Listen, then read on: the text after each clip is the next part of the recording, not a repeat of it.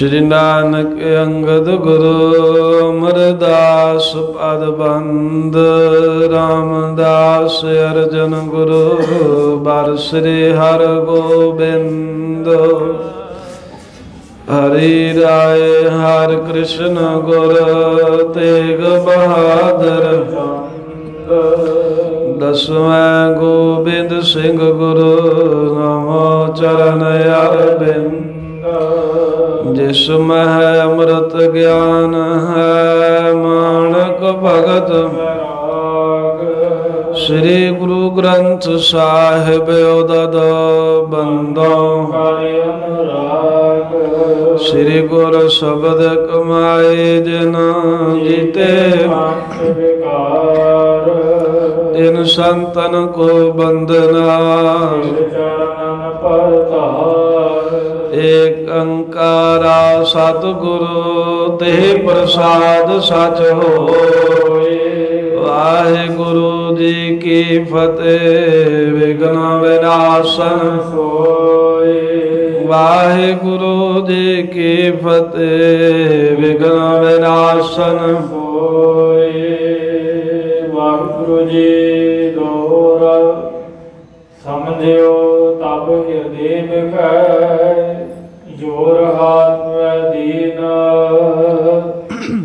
ਮਨ ਕੀ ਬੁਝੋ ਸਰਬਗਤ, ਕਿਰਪਾ ਨਿਧਾਨ ਪ੍ਰਲੀਨ ਵਾਹਿਗੁਰੂ ਜੀ ਕਾ ਖਾਲਸਾ, ਵਾਹਿਗੁਰੂ ਜੀ ਕੀ ਫਤਿਹ। ਤਨ ਤਨ ਸਤਿਗੁਰੂ, ਸ੍ਰੀ ਗੁਰੂ ਗ੍ਰੰਥ ਸਾਹਿਬ ਮਹਾਰਾਜ ਦੀ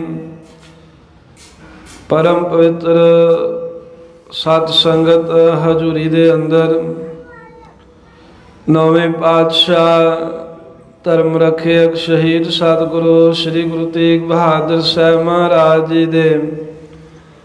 ਮਹਾਨ ਪਾਵਨ ਪਵਿੱਤਰ ਭਜਨ ਬੰਦਗੀ ਤਪ ਅਸਥਾਨ। ਗੁਰਦੁਆਰਾ ਸ੍ਰੀ ਭੋਰਾ ਸਾਹਿਬ ਜੀ ਪਾਤਸ਼ਾਹੀ ਨੌਵੀਂ ਵਿਖੇ, ਜਿੱਥੇ ਮਹਾਰਾਜ ਨੇ 26 ਸਾਲ 9 ਮਹੀਨੇ 13 ਦਿਨ ਭਜਨ ਬੰਦਗੀ ਕੀਤੀ ਪਰਮੇਸ਼ਰ ਦੀ ਐਸੇ ਅਸਥਾਨਾਂ ਤੇ ਸਤਿਗੁਰੂ ਨਾਨਕ ਦੇਵ ਮਹਾਰਾਜ ਦੀ ਪਵਿੱਤਰ ਕਥਾ ਸਰਵਣ ਕਰਨ ਦੇ ਲਈ ਦੂਰੋਂ ਨੇੜਿਓਂ ਚੱਲ ਕੇ ਆਏ। ਗੁਰੂ ਪਿਆਰੀ ਖਾਲਸਾ ਸਾਧ ਸੰਗਤ ਜੀ ਬੜ ਭਾਗੇ ਹੋ ਜੋ ਗੁਰੂ ਨਾਨਕ ਦੇਵ ਮਹਾਰਾਜ ਦਾ ਜਸ ਸੁਣ ਸੁਣਾਉਣ ਦਾ ਆਪਾਂ ਨੂੰ ਸੁਭਾਗ ਸਮਾਂ ਪ੍ਰਾਪਤ ਹੋਇਆ ਹੈ। ਸਤਿਗੁਰੂ ਨਾਨਕ ਦੇਵ ਮਹਾਰਾਜ ਜੀ, ਜਗਤ ਨੂੰ ਤਾਰਦੇ ਠਾਰਦੇ ਹੋਏ। ਏਮਨਾਬਾਦ ਬਾਬਰ ਦੀ ਕੈਦ ਵਿੱਚ ਪੈ ਗਏ ਕੈਦੀਆਂ ਨੂੰ ਛਡਾਉਣ ਵਾਸਤੇ। ਇਹਦੇ ਮਹਾਰਾਜ ਨੂੰ ਕੌਣ ਕੈਦ ਕਰਨ ਵਾਲਾ? ਪਰ ਸਤਿਗੁਰੂ ਕੈਦੀਆਂ ਨੂੰ ਛਡਾਉਣ ਲਈ ਕੈਦ ਵਿੱਚ ਪੈ ਗਏ। ਬਾਬਰ ਮਹਾਰਾਜ ਦੀ ਸ਼ਰਨ ਆਇਆ, ਰਾਜ ਮੰਗਿਆ, ਸਾਹਿਬ ਕਹਿੰਦੇ, ਰਾਜ ਰਹੂਗਾ। ਕਿੰਨਾ ਚਿਰ ਜਿੰਨਾ ਚਿਰ ਨਿਆਂ ਧਰਮ ਇਨਸਾਫ ਕਰੋਗੇ? ਅਸੀਂ ਦਿੱਤਾ, ਅਸੀਂ ਆਪ ਹੀ ਖੋਲਾਂਗੇ, ਨਹੀਂ ਤਾਂ ਗਰੀਬ ਨਵਾਜ਼ ਸਤਿਗੁਰੂ ਜੀ ਨੇ ਰਾਜ ਭਾਗ ਬਖਸ਼ਿਆ। ਕਹਿੰਦੇ, ਕੈਦੀ ਛੱਡੋ, ਸਾਰੇ ਕੈਦੀ ਛਡਾਏ। ਸਾਰਿਆਂ ਦਾ ਧਨ ਮਾਲ ਵਾਪਸ ਕਰਾਇਆ। ਨਗਰ ਦੇ ਵਿੱਚ ਆਏ ਸਤਿਗੁਰੂ ਮਹਾਰਾਜ ਤੇ ਨਗਰ ਸਾਰਾ ਉਜੜਿਆ ਵੇਖ ਕੇ ਮਹਾਰਾਜ ਸਾਹਿਬ ਜੀ ਨੇ ਪਵਿੱਤਰ ਸ਼ਬਦ ਉਚਾਰਨ ਕੀਤਾ। ਕਹਾਂ ਸੁਖੇਲ ਤਬੇਲੇ, ਤਬੇਲਾ ਘੋੜੇ, ਕਹਾਂ ਭੇਰੀ ਸਹਨਾਈ, ਕਹਾਂ ਸੁਤੇਗ ਬੰਦ ਗਾੜੇਰੜ ਕਹਾਂ ਸੁਲਾਲ ਕਵਾਈ। ਇਹ ਸ਼ਬਦ ਉਚਾਰ ਕੇ ਜੋ ਪਹਿਲਾਂ ਹਾਲਤ ਸੀ ਤੇ ਹੁਣ ਹਾਲਤ ਦਾ ਮਹਾਰਾਜ ਨੇ ਜ਼ਿਕਰ ਕੀਤਾ। ਬਹੁਤ ਮਾਈਆਂ ਬੀਬੀਆਂ ਨੇ ਰੋਣੇ ਪਿੱਟਣੇ ਕੀਤੇ ਕਿਉਂਕਿ ਹਰ ਘਰ ਚੋਂ ਹੀ ਕੋਈ ਮਰ ਗਿਆ ਸੀ। ਤੇ ਸਤਿਗੁਰੂ ਮਹਾਰਾਜ ਨੇ ਰੋਂਦੀਆਂ ਨੂੰ ਵੇਖ ਕੇ ਉਪਦੇਸ਼ ਦਿੱਤਾ, ਜੈਸੇ ਕੋਇਲ ਗੋਇਲੀ ਤੈਸੇ ਸੰਸਾਰਾ ਕੋੜ ਕਮਾਵੇ ਆਦਮੀ, ਬਾਂਧੇ ਘਰ ਬਾਰਾ। ਮਹਾਰਾਜ ਨੇ ਇਹ ਸ਼ਬਦ ਉਚਾਰਿਆ ਵੀ ਫਿਰ ਨਹੀਂ ਕੋਈ ਇੱਥੇ ਰਹਿਣਾ। ਪਰਮੇਸ਼ਰ ਦਾ ਨਾਮ ਜਪੋ, ਉਪਦੇਸ਼ ਦੇ ਕੇ ਸਭ ਨੂੰ ਸ਼ਾਂਤੀ ਬਖਸ਼ੀ ਹੈ। ਭਾਈ ਮਰਦਾਨੇ ਨੇ ਇੱਕ ਸ਼ੰਕਾ ਕੀਤਾ ਵੀ ਮਹਾਰਾਜ ਸਾਨੂੰ ਧੱਕੇ ਦੇ ਥੋੜੇ ਜਿਹੇ ਪਠਾਣਾ ਨੇ ਮਾਰੇ ਸੀ, ਸਾਰਿਆਂ ਨੂੰ ਸਜ਼ਾ ਕਿਉਂ ਮਿਲੀ ਹੈ? ਸਤਿਗੁਰੂ ਜੀ ਨੇ ਦੱਸਿਆ ਵੀ ਜਿਹੜੇ ਨਗਰ 'ਚ ਕੋਈ ਸਾਧੂ ਸੰਤ ਦੀ ਸੇਵਾ ਨਾ ਹੋਵੇ, ਪਾਪੀ ਸਾਰੇ ਹੀ ਹੁੰਦੇ ਆ।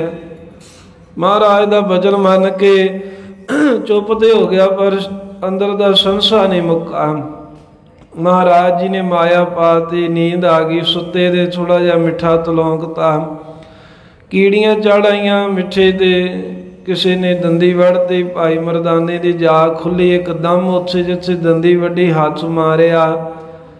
ਕਈ ਕੀੜੀਆਂ ਮਸਲੀਆਂ ਗਈਆਂ।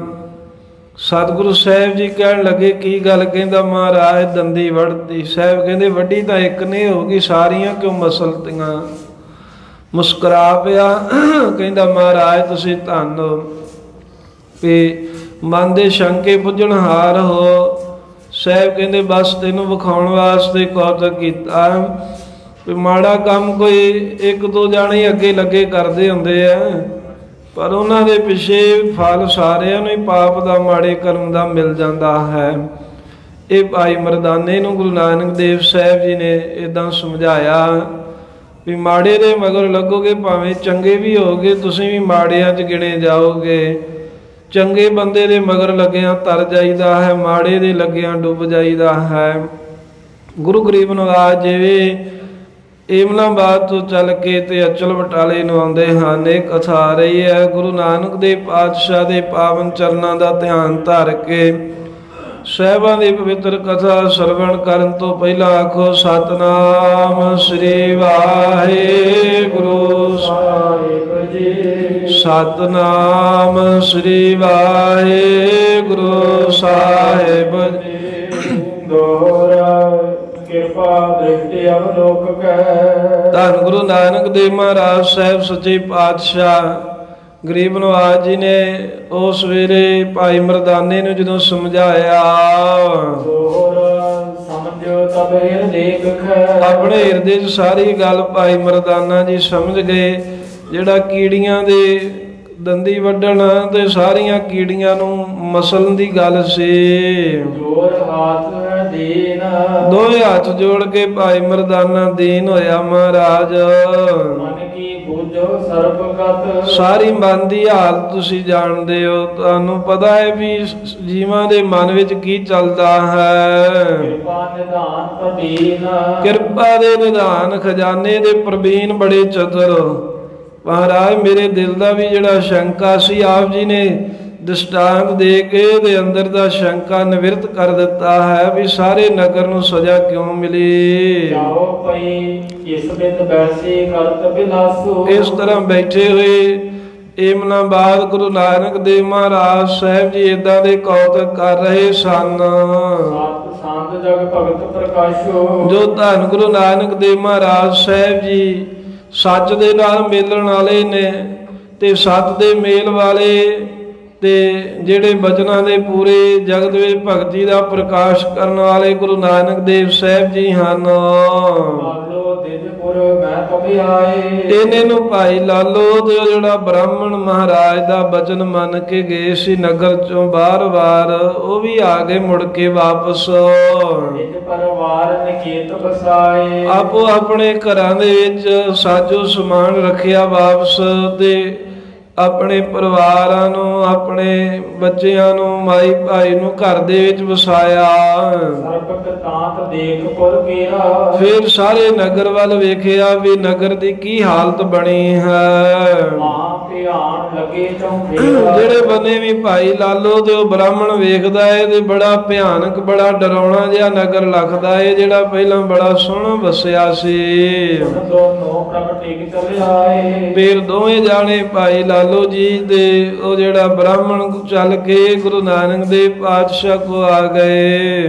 ਪੰਕਜ ਪਰ ਪਰ ਗੁਰੂ ਨਾਨਕ ਦੇਵ ਮਹਾਰਾਜ ਸਾਹਿਬ ਜੀ ਦੇ ਚਰਨ ਕਮਲਾਂ ਦੇ ਉੱਤੇ ਆ ਕੇ ਮਹਾਰਾਜ ਨੂੰ ਨਮਸਕਾਰ ਕੀਤੀ ਘੁੱਟ ਕੇ ਮਹਾਰਾਜ ਦੇ ਚਰਨ ਫੜ ਲਏ। ਮਾਨ ਸਮਾਨ ਸਰੂਪ ਨਿਹਾਰਾ। ਮਹਾਰਾਜ ਦੇ ਸਰੂਪ ਦੇ ਦਰਸ਼ਨ ਇਦਾਂ ਕੀਤੇ ਵੀ ਮਾਨੋ ਵੀ ਜਿਵੇਂ ਸੂਰਜ ਉਦੇ ਹੋਇਆ ਹੋਵੇ ਸੂਰਜ ਚੜਿਆ ਹੋਵੇ।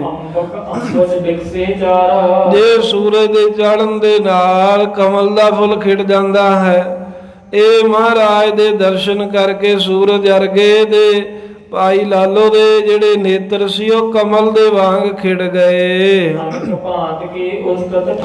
ਮਹਾਰਾਜ ਦੀ ਅਨੇਕਾਂ ਤਰ੍ਹਾਂ ਕਰਕੇ ਵਡਿਆਈ ਮਹਿਮਾ ਉਸਤਤ ਕੀਤੀ ਹੈ। ਇਹ ਧੰਨ ਗੁਰੂ ਨਾਨਕ ਦੇਵ ਮਹਾਰਾਜ ਸਾਹਿਬ ਜੀ, ਪਰਮ ਪ੍ਰਸਿੱਧ ਭੇ ਗੁਣ ਖਾਨੇ ਸਿੱਖਾਂ ਦੀ ਬੇਨਤੀ ਸੁਣ ਕੇ ਤੇ ਬਹੁਤ ਹੀ ਮਹਾਰਾਜ ਪ੍ਰਸੰਨ ਹੋਏ। ਨੋ ਨਗਰ ਵਿਖੇ ਪੁਨ ਜਾਏ। ਦੋਨੋਂ ਨਗਰ ਵਿਖੇ ਪਹੁੰਚਾਏ ਫਿਰ ਮਹਾਰਾਜ ਸਾਹਿਬ ਜੀ ਦੇ ਜਦੋਂ ਦਰਸ਼ਨ ਕੀਤੇ ਗੁਰਾਂ ਦੀਆਂ ਖੁਸ਼ੀਆਂ ਲਈਆਂ ਤੇ ਭਾਈ ਲਾਲੋ ਦੇ ਬ੍ਰਾਹਮਣ ਦੋਵੇਂ ਜਾਣੇ ਨਗਰ ਦੇ ਵਿੱਚ ਚਲੇ ਗਏ। ਦੋਨੋਂ ਪਲ ਪੰਕਜ ਪਰ ਪਰ ਲਪਟਾਏ। ਅਨਕ ਪ੍ਰਕਾਰਨ ਮਹਿਮਾ ਗਾਈ ਤੇ ਨਗਰ ਦੇ ਵਿੱਚ ਜਾ ਕੇ ਅਨੇਕਾਂ ਤਰ੍ਹਾਂ ਦੇ ਨਾਲ ਉਹਨਾਂ ਨੇ ਗੁਰੂ ਸਾਹਿਬ ਦੀ ਮਹਿਮਾ ਕਹੀ। ਜਿਹੜੇ ਨਗਰ ਦੇ ਲੋਕ ਸਨ, ਉਹਨਾਂ ਦੇ ਕੋਲ ਜਾ ਕੇ ਗੁਰੂ ਸਾਹਿਬ ਜੀ ਦਾ ਜਸ ਕੀਤਾ। ਉਹ ਲੋਕੋ, ਤੁਸੀਂ ਭੁੱਲੇ ਰਹੇ। ਮਹਾਰਾਜ ਦੀ ਸੇਵਾ ਨਹੀਂ ਕੀਤੀ, ਸਗੋਂ ਉਹਨਾਂ ਦੇ ਸਿੱਖਾਂ ਨੂੰ ਧੱਕੇ ਮਾਰੇ। ਤੁਹਾਡਾ ਬੁਰਾ ਹਾਲ ਹੋਇਆ। ਪਰ ਵੇਖੋ ਗੁਰੂ ਨਾਨਕ ਸਾਹਿਬ ਕੈਸੇ ਦਿਆਲੂ ਨੇ, ਤੁਹਾਨੂੰ ਫੇਰ ਵੀ ਕੈਦ ਵਿੱਚੋਂ ਛਡਾ ਕੇ ਲੈ ਆਏ, ਉਹ ਤੁਹਾਡਾ ਸਮਾਨ ਵਾਪਸ ਕਰਾ ਦਿੱਤਾ। ਉਹ ਅਜੇ ਵੀ ਤੁਸੀਂ ਮਹਾਰਾਜ ਦਾ ਸ਼ੁਕਰ ਨਹੀਂ ਕਰਦੇ। ਇਦਾਂ ਭਾਈ ਲਾਲੋ ਦੇ ਉਸ ਬ੍ਰਾਹਮਣ ਨੇ ਨਗਰ ਵਿੱਚ ਜਾ ਕੇ ਰੌਲਾ ਪਾਇਆ। ਹਿੰਦੂ ਤੁਰਕ ਹੋਤੇ ਸਭ ਜੈ ਆ ਜਿੰਨੇ ਵੀ ਉੱਥੇ ਹਿੰਦੂ ਜਾਂ ਤੁਰਕ ਰਹਿੰਦੇ ਸੀ ਮੁਸਲਮਾਨ ਪਠਾਨ ਆਦਿਕ। ਉਹ ਸਾਰੇ ਹੀ ਆ ਕੇ ਤੇ ਗੁਰੂ ਨਾਨਕ ਸਾਹਿਬ ਮਹਾਰਾਜ ਦੇ ਚਰਨੀ ਪੈ ਗਏ। ਜਦੋਂ ਜਾ ਕੇ ਭਾਈ ਲਾਲੋ ਨੇ ਕਿਹਾ ਉਹ ਅਜੇ ਵੀ ਸਮਾਂ ਹੈ ਪਹਿਲਾਂ ਗੁਰੂ ਨਾਨਕ ਦੇਵ ਮਹਾਰਾਜ ਦੀ ਨਰਾਦਰੀ ਦਾ ਫਲ ਮਿਲਿਆ। ਵੀ ਆ ਸਾਰਾ ਨਗਰ ਉਜੜ ਗਿਆ। ਕਹਿੰਦੇ ਅਜੇ ਵੀ ਸਮਾਂ ਹੈ ਸ਼ਰਨ ਪੈ ਜੋ। ਤੇ ਸੁਣ ਕੇ ਤੇ ਆ ਕੇ ਗੁਰੂ ਨਾਨਕ ਦੇਵ ਮਹਾਰਾਜ ਦੇ ਚਰਨਾਂ ਤੇ ਸਾਰੇ ਲੰਪਟ ਹੋ ਗਏ। ਹੀਰ ਭਈ ਚੌ ਦੇਸ਼ ਜਗ ਦੇਸ਼ਾ। ਅੱਜ ਗੁਰੂ ਨਾਨਕ ਦੇਵ ਮਹਾਰਾਜ ਜਿੱਥੇ ਬਾਰ-ਬਾਰ ਰੋੜੀ ਸਾਹਿਬ ਵਾਲੇ ਸਥਾਨ ਤੇ ਬਿਰਾਜਮਾਨ ਸਨ। ਜਗਤ ਦੇ ਮਾਲਕ ਸਤਿਗੁਰਾਂ ਦੇ ਚਾਰ ਸਫੇਰੇ ਬਹੁਤ ਹੀ ਭੀੜ ਹੋ ਗਈ। ਜਿਹੜੇ ਨਗਰ ਵਾਲੇ ਲਾਗਿਓ ਲੰਘ ਜਾਂਦੇ ਸੀ ਕਦੀ ਮਹਾਰਾਜ ਦਾ ਸਤਿਕਾਰ ਨਹੀਂ ਸੀ ਕਰਦੇ।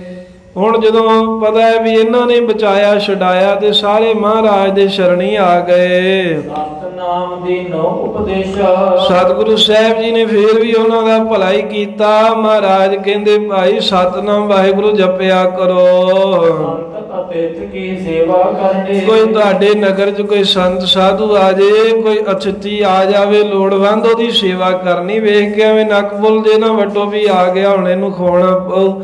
ਕਹਿੰਦੇ ਕੋਈ ਆਵੇ ਸਗੋਂ ਚਾਹ ਚੜ ਜੇ ਵੀ ਸੇਵਾ ਦਾ ਮੌਕਾ ਮਿਲਿਆ ਹੈ। ਕੀ ਮਹਿਮਾ ਬਹੁ ਵਿਦ ਕਰਨੇ ਆ ਕਿਉਂਕਿ ਜੋ ਸੇਵਾ ਕਰਨੀ ਹੈ ਇਸ ਦੀ ਮਹਿਮਾ ਬਹੁਤ ਵੱਡੀ ਮਹਾਨ ਤੋਂ ਮਹਾਨ ਹੈ। ਕਿਸੇ ਲੋੜਵੰਦ ਦੀ ਲੋੜ ਪੂਰੀ ਕਰ ਦੇਣੇ ਪ੍ਰਭ ਤਾਂ ਸਾਹਿਬ ਗੁਰੂ ਨਾਨਕ ਦੇਵ ਜੀ ਨੇ 2 ਦਿਨ ਹੋਰ ਏਮਨਾਬਾਦ ਨਗਰ ਵਿੱਚ ਬਤੀਤ ਕੀਤੇ। ਕਮਨੇ ਅਪਰ ਥਾਨ ਮਨ ਭਾਏ। ਮੌਜ ਮਹਾਰਾਜ ਦੀ ਆਪਣੇ ਮੌਜ ਦੇ ਮੁਤਾਬਕ ਇਥੋਂ ਸਤਿਗੁਰੂ ਸਾਹਿਬ ਜੀ ਹੋਰ ਪਾਸੇ ਨੂੰ ਚੱਲ ਪਏ ਜਿੱਧਰ ਨੂੰ ਸਾਹਿਬਾਂ ਦੀ ਇੱਛਾ ਹੋਏ। ਆ ਜਿਹੜਾ ਸਾਧੂਆਂ ਦਾ ਭੇਖ ਹੁੰਦਾ ਸੰਤਾਂ ਵਰਗੇ ਬਸਤਰ ਮਹਾਰਾਜ ਦੇ ਸਰੀਰ ਤੇ ਸ਼ੋਭ ਰਹੇ ਨੇ। ਇੱਕ ਮਹਾਰਾਜ ਨੇ ਦਸਤਾਰ ਸਜਾਈ ਹੈ ਇੱਕ ਚਾਦਰਾ ਤੇੜ ਦੇ ਇੱਕ ਚਾਦਰਾ ਮਹਾਰਾਜ ਗੁਰੂ ਨਾਨਕ ਦੇਵ ਸੱਚੇ ਪਾਤਸ਼ਾਹ ਨੇ ਉੱਪਰ ਲਿਆ ਹੋਇਆ ਹੈ। ਕੁਝ ਪੁਰਾਤਨ ਲਿਖਤਾਂ ਦੇ ਜੈਸਾ ਵੀ ਜ਼ਿਕਰ ਆਉਂਦਾ ਵੀ ਜਿਹੜੀ ਕਸ਼ਹਿਰੇ ਦੀ ਮਰਿਆਦਾ ਹੈ ਵੀ ਗੁਰੂ ਨਾਨਕ ਸਾਹਿਬ ਜੀ ਨੇ ਆਰੰਭ ਕੀਤੀ, ਸਤਿਗੁਰੂ ਸਾਹਿਬ ਜੀ ਵੀ ਕਸ਼ਹਿਰਾ ਪਹਿਨਿਆ ਕਰਦੇ ਸਨ, ਸ਼ਸਤਰ ਵੀ ਧਾਰਦੇ ਹੁੰਦੇ ਸੀ ਤੇ ਆਪਣੇ ਦਸਤਾਰ ਤੇ ਚੱਕਰ ਵੀ ਸਜਾਉਂਦੇ ਸੀ ਪੁਰਾਣੀਆਂ ਕੁਝ ਲਿਖਤਾਂ ਚੋਂ, ਇਹ ਵੀ ਗੱਲ ਉਗੜ ਕੇ ਆ ਰਹੀ ਹੈ। ਕੁਝ ਥਾਵਾਂ ਤੇ ਇਤਿਹਾਸਕ ਸਥਾਨ ਵੀ ਸ਼ਸਤਰਾਂ ਨਾਲ ਸੰਬੰਧਿਤ ਬਣੇ ਨੇ ਮਹਾਰਾਜ ਦੇ। ਭਾਗ ਤੇ ਸ਼ਮਸ ਧੰਨ ਗੁਰੂ ਨਾਨਕ ਦੇਵ ਮਹਾਰਾਜ ਸਾਹਿਬ ਸੱਚੇ ਪਾਤਸ਼ਾਹ ਜੋ ਬਹੁਤ ਹੀ ਸ੍ਰੇਸ਼ਟ ਹਨ। ਗਰੀਬ ਨਵਾਜ਼ ਸਾਹਿਬ ਜੀ ਦੇ ਮੁਖ ਦੇ ਉੱਤੇ ਦਾੜਾ ਬੜਾ ਸੋਹਣਾ ਫੱਬ ਰਿਹਾ ਹੈ। ਕਾਲੇ ਰੰਗ ਦਾ ਇਹ ਦੇ ਵਿੱਚ ਚਿੱਟੇ ਰੰਗ ਦੇ ਹੁਣ ਕੇਸ ਵੀ ਆ ਗਏ ਨੇ। ਕਾਲੇ ਦੇ ਚਿੱਟੇ ਰੰਗ ਦੇ ਕੇਸਾਂ ਦੇ ਸਹਿਤ ਮਹਾਰਾਜ ਜੀ ਦਾ ਦਾੜਾ ਬੜਾ ਸੋਹਣਾ ਸੱਜ ਫੱਬ ਏ ਕਿਉਂਕਿ 26 ਦੇ 1526 ਚ ਮਹਾਰਾਜ ਦਾ ਪ੍ਰਕਾਸ਼ ਹੋਇਆ ਤੇ 1578 ਵਿੱਚ ਏਮਨਾਬਾਦ ਉਜੜਿਆ। 52 ਕੁ ਸਾਲ ਉਮਰ ਹੋ ਗਈ ਮਹਾਰਾਜ ਦੇ ਸਰੀਰ ਦੇ ਬੜੀ ਖੇਚਲ ਸਾਹਿਬਾਂ ਨੇ ਦਿੱਤੀ, ਜਿਸ ਕਰਕੇ ਇੰਨੀ ਕੁ ਅਵਸਥਾ ਦੇ ਵਿੱਚ ਮਹਾਰਾਜ ਦੇ ਕਾਲੇ ਦਾੜੇ ਦੇ ਵਿੱਚ ਬਹੁਤੇ ਚਿੱਟੇ ਕੇਸ ਸੋਹਣੇ ਫੱਬ ਰਹੇ ਹਨ। ਦੀਨ ਲੋਕ ਕੀ ਕਰਤਾ ਸੋ ਜੋ? ਸਤਿਗੁਰੂ ਤਿੰਨਾਂ ਲੋਕਾਂ ਦੇ ਰਚਨਹਾਰ ਨੇ। ਏਕ ਫਕੀਰੀ ਵਿਚਰਤ ਸੋ। ਉਹ ਫਕੀਰੀ ਸਾਧੂਆਂ ਵਾਲਾ ਲਿਬਾਸ ਧਾਰ ਕੇ ਤੇ ਜਗਤ ਦੀ ਕਲਿਆਣ ਵਾਸਤੇ ਵਿਚਰ ਰਹੇ ਹਨ। ਮੰਦ ਮੰਦ ਮਗ ਬਿਠੇ ਸਹਾਏ। ਆ ਸਹਿਜੇ ਸਹਿਜੇ ਆਪਣੇ ਮੌਜ ਆਨੰਦ ਦੇ ਨਾਲ ਰਸਤੇ 'ਚ ਪੈਰ ਰੱਖਦੇ ਜਾਂਦੇ ਚਰਨ ਸੁਹਾ- ਸੁਹਾਏ ਮਹਾਰਾਜ ਸਾਹਿਬ ਜੀ ਟਿਕਾਉਂਦੇ ਤੇ ਬੜੇ ਸੋਹਣੇ ਲੱਗਦੇ ਹਨ। ਸੁਰੇ ਨਗਰ ਚਲੇ ਆਏ। ਕਈ ਨਗਰਾਂ ਦੇ ਵਿੱਚ ਮਹਾਰਾਜ ਉਧਾਰ ਕਰਦੇ ਆ ਜੀਵਾਂ ਦਾ ਕਰਦੇ ਆ ਕਰਦੇ ਆ ਆਪਣੇ ਸਹੁਰੇ ਨਗਰ ਆ ਗਏ। ਪੈਰ ਅਜਿੱਤੇ ਕੂਪ ਸੁਹਾਇਆ। ਆ ਜਿਹੜਾ ਜਿੱਤਾ ਰੰਧਾਵਾ ਚੌਧਰੀ ਸੀ ਨਗਰ ਦਾ ਉਹਦਾ ਖੂਹ ਸੀ ਬਾਰ-ਬਾਰ ਬਟਾਲੇ ਨਗਰ ਤੋਂ ਜਿੱਥੇ ਬੜਾ ਸੋਹਣਾ ਖੂਹ ਹੈ। ਤੁਤੀ ਸਗਨ ਸੁੰਦਰ ਤੇ ਛਾਇਆ ਉਹ ਖੂਹ ਦੇ ਕਹਿੰਦੇ ਨੇੜੇ ਨੇੜੇ ਸੋਹਣੇ ਦਰਖਤ ਪਿੱਪਲ ਬੋੜ ਤੇ ਹੋਰ ਵੀ ਦਰਖਤ ਲੱਗੇ ਹੋਣ ਕਰਕੇ ਤੇ ਛਾਂ ਬੜੀ ਸੰਘਣੀ ਤੇ ਬੜਾ ਰਮਣੀਕ ਜਿਹਾ ਸਥਾਨ ਸੀ। ਏਕ ਥਾਨ ਰਮਨੀਕ ਗੁਸਾਏ। ਜਗਤ ਮਾਲਕ ਗੁਰੂ ਨਾਨਕ ਦੇਵ ਪਾਤਸ਼ਾਹ ਨੇ ਸੋਹਣੀ ਜਗ੍ਹਾ ਵੇਖ ਕੇ ਰਮਣੀਕ ਆਨੰਦਦਾਈ ਸਥਾਨ ਜਾਣ ਕੇ। ਭਾਈ ਬਾਲਾ ਜੀ ਕਹਿੰਦੇ ਸਾਡੇ ਨਾਲ ਬੜਾ ਹੱਸਦਿਆਂ ਹੋਇਆ ਮਹਾਰਾਜ ਸਾਹਿਬ ਜੀ ਮੁਸਕਰਾਉਂਦਿਆਂ ਹੋਇਆ ਅਜਿੱਤੇ ਰੰਧਾਵੇ ਦੇ ਖੂਹ ਤੇ ਬਹਿ ਗਏ। ਮੰਨ ਲਓ ਪਹਿਲਾਂ ਹੀ ਇਸ਼ਾਰਾ ਕਰਦੇ ਹੁਣ ਵੀ ਇੱਥੇ ਆਉਣਗੇ ਕਲੇਸ਼ੀ ਕਰਾਂ ਸਹਿਲ ਵਿਸਾਲ ਕੀਨ ਸਭ ਦੇਸ਼ਾ। ਗੁਰੂ ਨਾਨਕ ਦੇਵ ਮਹਾਰਾਜ ਬਰਾਜ ਗਏ ਤੇ ਬਰਾਜਦੇ ਹੋਇਆ ਭਾਈ ਬਾਲਾ ਜੀ ਕਹਿੰਦੇ ਕਹਿਣ ਲੱਗੇ ਵੀ ਮਹਾਰਾਜ ਦੇ ਪਰਮੇਸ਼ਰ ਦੇ ਹੁਕਮ ਦੇ ਨਾਲ ਬੜੇ ਦੇਸ਼ਾਂ ਦੀ ਸੈਲ ਕਰ ਲਈ ਆਪਾਂ ਬਹੁਤ ਦੇਸ਼ ਵਿਚਰ ਲਏ ਹਨ। ਦੀਨ ਦੇਸ਼ ਐਸ ਜਗਤੇਸ਼ਾ ਕਿਉਂਕਿ ਜਗਤ ਦੇ ਮਾਲਕ ਦੀ ਸਾਨੂੰ ਆਗਿਆ ਵੀ ਇਹੀ ਸੀ ਵੀ ਵਿਚਰਨਾ ਹੈ ਇੱਕ ਥਾਂ ਤੇ ਨਹੀਂ ਬਹਿਣਾ। ਸਤਿਗੁਰੂ ਮਹਾਰਾਜ ਜੀ ਕਹਿੰਦੇ ਵੀ ਹੁਣ ਨਹੀਂ ਭਾਈ ਬਾਲੇ ਆਪਾਂ ਕਿਤੇ ਜਾਣਾ। ਕੁਝ ਕੁ ਸਮਾਂ ਹੁਣ ਇੱਕ ਥਾਂ ਤੇ ਬਹਿ ਕੇ ਇੱਕ ਥਾਂ ਤੇ ਟਿਕ ਕੇ ਬਤੀਤ ਕਰਾਂਗੇ। ਪਰਮੇਸ਼ਰ ਦੇ ਆਨੰਦ ਵਿੱਚ ਮਗਨ ਹੋਏ ਵਾਹਿਗੁਰੂ ਦੇ ਗੁਣ ਗਾਵਾਂਗੇ ਇੱਕ ਥਾਂ ਤੇ ਟਿਕ ਕੇ। ਇਹਨੇ ਨੂੰ ਕਿਸੇ ਮਨੁੱਖ ਨੇ ਜਿਹੜਾ ਉੱਥੇ ਬਟਾਲੇ ਦਾ ਹੋਊਗਾ ਕੋਈ ਮਹਾਰਾਜ ਨੂੰ ਜਾਣਦਾ। ਸਤਿਗੁਰਾਂ ਨੂੰ ਵੇਖਿਆ ਤੇ ਵੇਖ ਕਰਕੇ ਦੌੜਿਆ ਨਗਰ ਵੱਲ ਨੂੰ। ਕਹਿੰਦਾ ਵੀ ਇਹ ਤਾਂ ਉਹੀ ਹਨ ਗੁਰੂ ਨਾਨਕ ਦੇਵ ਮਹਾਰਾਜ ਜੋ ਮੂਲ ਚੰਦ ਦੇ ਜਵਾਈ ਹਨ। ਅੱਜ ਉੱਥੇ ਮੂਲ ਚੰਦ ਸੀ ਬਾਬੇ ਮੂਲ ਚੰਦ ਨੂੰ ਜਾ ਕੇ ਖਬਰ ਦਿੱਤੀ ਵੀ ਮੂਲ ਚੰਦ ਜੀ। ਮਹਿਰ ਜਮਾਤਾ ਆਇਓ ਤੋਰੇ। ਆ ਨਗਰ ਤੋਂ ਬਾਰ-ਬਾਰ ਤੇਰਾ ਜਮਾਤਾ ਤੇਰਾ ਜਵਾਈ ਆਇਆ ਬੈਠਾ ਹੈ। ਜੇ ਭਾ ਕਾਲ ਕਨੇਰੋ ਆ ਜਿਹਨੂੰ ਕਹਿੰਦੇ ਵੀ ਆਪਣੇ ਘਰੋਂ ਨਿਕਲੇ ਨੂੰ ਬੜਾ ਲੰਮਾ ਸਮਾਂ ਹੋ ਗਿਆ ਵੇਖੋ ਵੀ 12 ਸਾਲੀ ਮੁੜ ਕੇ ਆਇਆ ਹੈ। ਤੂੰ ਆ ਜਦੋਂ ਪੁੱਛਿਆ ਕਿੱਥੇ ਬੈਠਾ ਕਹਿੰਦੇ ਵੀ ਅਜੇ ਤੇਰੇ ਚੌਧਰੀ ਦੇ ਖੂਹ ਦੇ ਬੈਠੇ ਹਨ। ਇਹ ਖਬਰ ਸੁਣ ਕੇ ਤੇ ਬਾਬਾ ਮੂਲ ਚੰਦ ਬੜੀ ਛੇਤੀ ਉੱਠ ਕੇ ਦੌੜਿਆ। ਅਜਿੱਤੇ ਕੋਲੇ ਆਇਓ। ਤੇ ਨਾਲ ਅਜਿੱਤੇ ਰੰਧਾਵੇ ਨੂੰ ਵੀ ਨਾਲ ਲੈ ਲਿਆ ਕਿਉਂਕਿ ਉਹਦਾ ਖੂਹ ਸੀ। ਅਸਲ ਚ ਮਹਾਰਾਜ ਨੇ ਅਜਿੱਤੇ ਚੌਧਰੀ ਦਾ ਉਧਾਰ ਕਰਨਾ ਸੀ ਤਾਂ ਹੀ ਉਹਦੇ ਖੇਤਾਂ 'ਚ ਜਾ ਕੇ ਬੈਠੇ। ਕੋ ਰਹਿਓ ਆ ਬੜੇ ਚਿਰ ਦਾ ਕਹਿੰਦੇ ਵੀ ਅੰਦਰ ਕ੍ਰੋਧ ਸੀ ਗੁੱਸਾ ਸੀ। ਅੱਜ ਗੁੱਸਾ ਕੱਢਣ ਦਾ ਸਮਾਂ ਮਿਲ ਗਿਆ ਨਾ ਪਹਿਲਾਂ ਮੌਕਾ ਜੂ ਨਹੀਂ ਸੀ ਮਿਲਦਾ।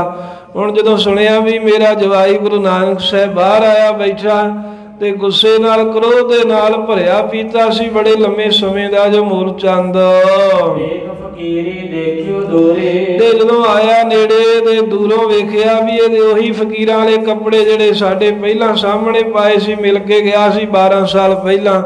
ਉਹੀ ਸਾਦਾ ਫਕੀਰਾਂ ਵਾਲੇ ਕੱਪੜੇ ਹੁਣ ਪਾਏ ਹਨ ਕ੍ਰੋਧ ਹਿਰਦੇ ਮੈਂ ਹੋਵਾ ਆ ਕ੍ਰੋਧ ਤਾਂ ਪਹਿਲਾਂ ਵੀ ਭਰਿਆ ਪਿਆ ਸੀ ਤੇ ਵੇਖ ਕੇ ਹੋਰ ਜ਼ਿਆਦਾ ਲਾਲ ਪੀਲਾ ਹੋ ਗਿਆ ਮੂਲ ਚੰਦ। ਗੁਰੂ ਨਾਨਕ ਦੇਵ ਮਹਾਰਾਜ ਸਾਹਿਬ ਜਿੱਥੇ ਬਰਾਜੇ ਨੇ ਸਤਿਗੁਰਾਂ ਦੇ ਨੇੜੇ ਗਿਆ ਤੇ ਨੇੜੇ ਖਲੋ ਕੇ ਬੜੇ ਗੁੱਸੇ ਨਾਲ ਲਾਲ ਪੀਲਾ ਜਿਹਾ ਹੋ ਕੇ ਵੇਖਣ ਲੱਗਾ ਅੱਖਾਂ ਕੱਢ ਕੇ। ਉਹ ਮੁਖ ਬਚਨ ਅਲਾਵਾ ਆਏ ਸਤ ਸਤ ਨਹੀਂ, ਕੋਈ ਕੀਤੀ ਵੀ ਲੰਮੇ ਸਮੇਂ ਬਾਅਦ ਮਿਲਣਾ ਹੈ। ਤੇ ਕੋਈ ਉਹਨਾਂ ਨਾਲ ਬਚਨ ਬਲਾਸ ਕਰੀਏ।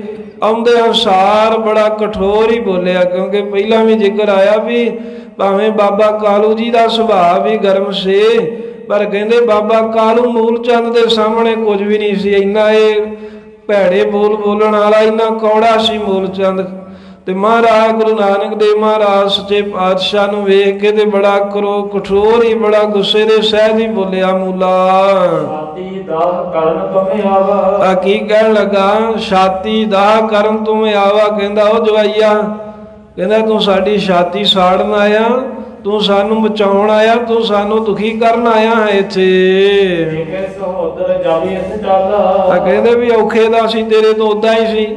ਪਰ ਦੂਰ ਰਹਿੰਦਾ ਸੀ ਤੇ ਚਲੋ ਸਮਾਂ ਲੰਘਦਾ ਜਾਂਦਾ। ਤੇ ਹੁਣ ਜੇ ਸਾਡੇ ਨਗਰ ਆਇਆ ਹੀ ਆਇਆ ਤੇ ਆ ਕੀ ਬਣ ਕੇ ਆਇਆ? ਜਦੋਂ ਤੈਨੂੰ ਇਦਾਂ ਸਾਧਿਆ ਬਣਿਆ ਮੇਰੇ ਕੋਈ ਸ਼ਰੀਕੇ ਦੇ ਭਾਈਚਾਰੇ ਦੇ ਲੋਕ ਵੇਖਣਗੇ। ਉਹ ਟਿਚਰਾ ਕਰਨਗੇ ਵੇਖੋ ਵੀ ਮੂਲ ਚੰਦ ਜਿਹੜਾ ਜਵਾਈ ਆ ਸਾਧ ਬਣਿਆ। ਤੇ ਉਹਨਾਂ ਦੀਆਂ ਗੱਲਾਂ ਸੁਣ ਕੇ ਮੈਨੂੰ ਬਹੁਤ ਹੀ ਪੀੜਾ ਹੋਏਗੀ ਮੈਨੂੰ ਦੁੱਖ ਬੜਾ ਹੋਵੇਗਾ।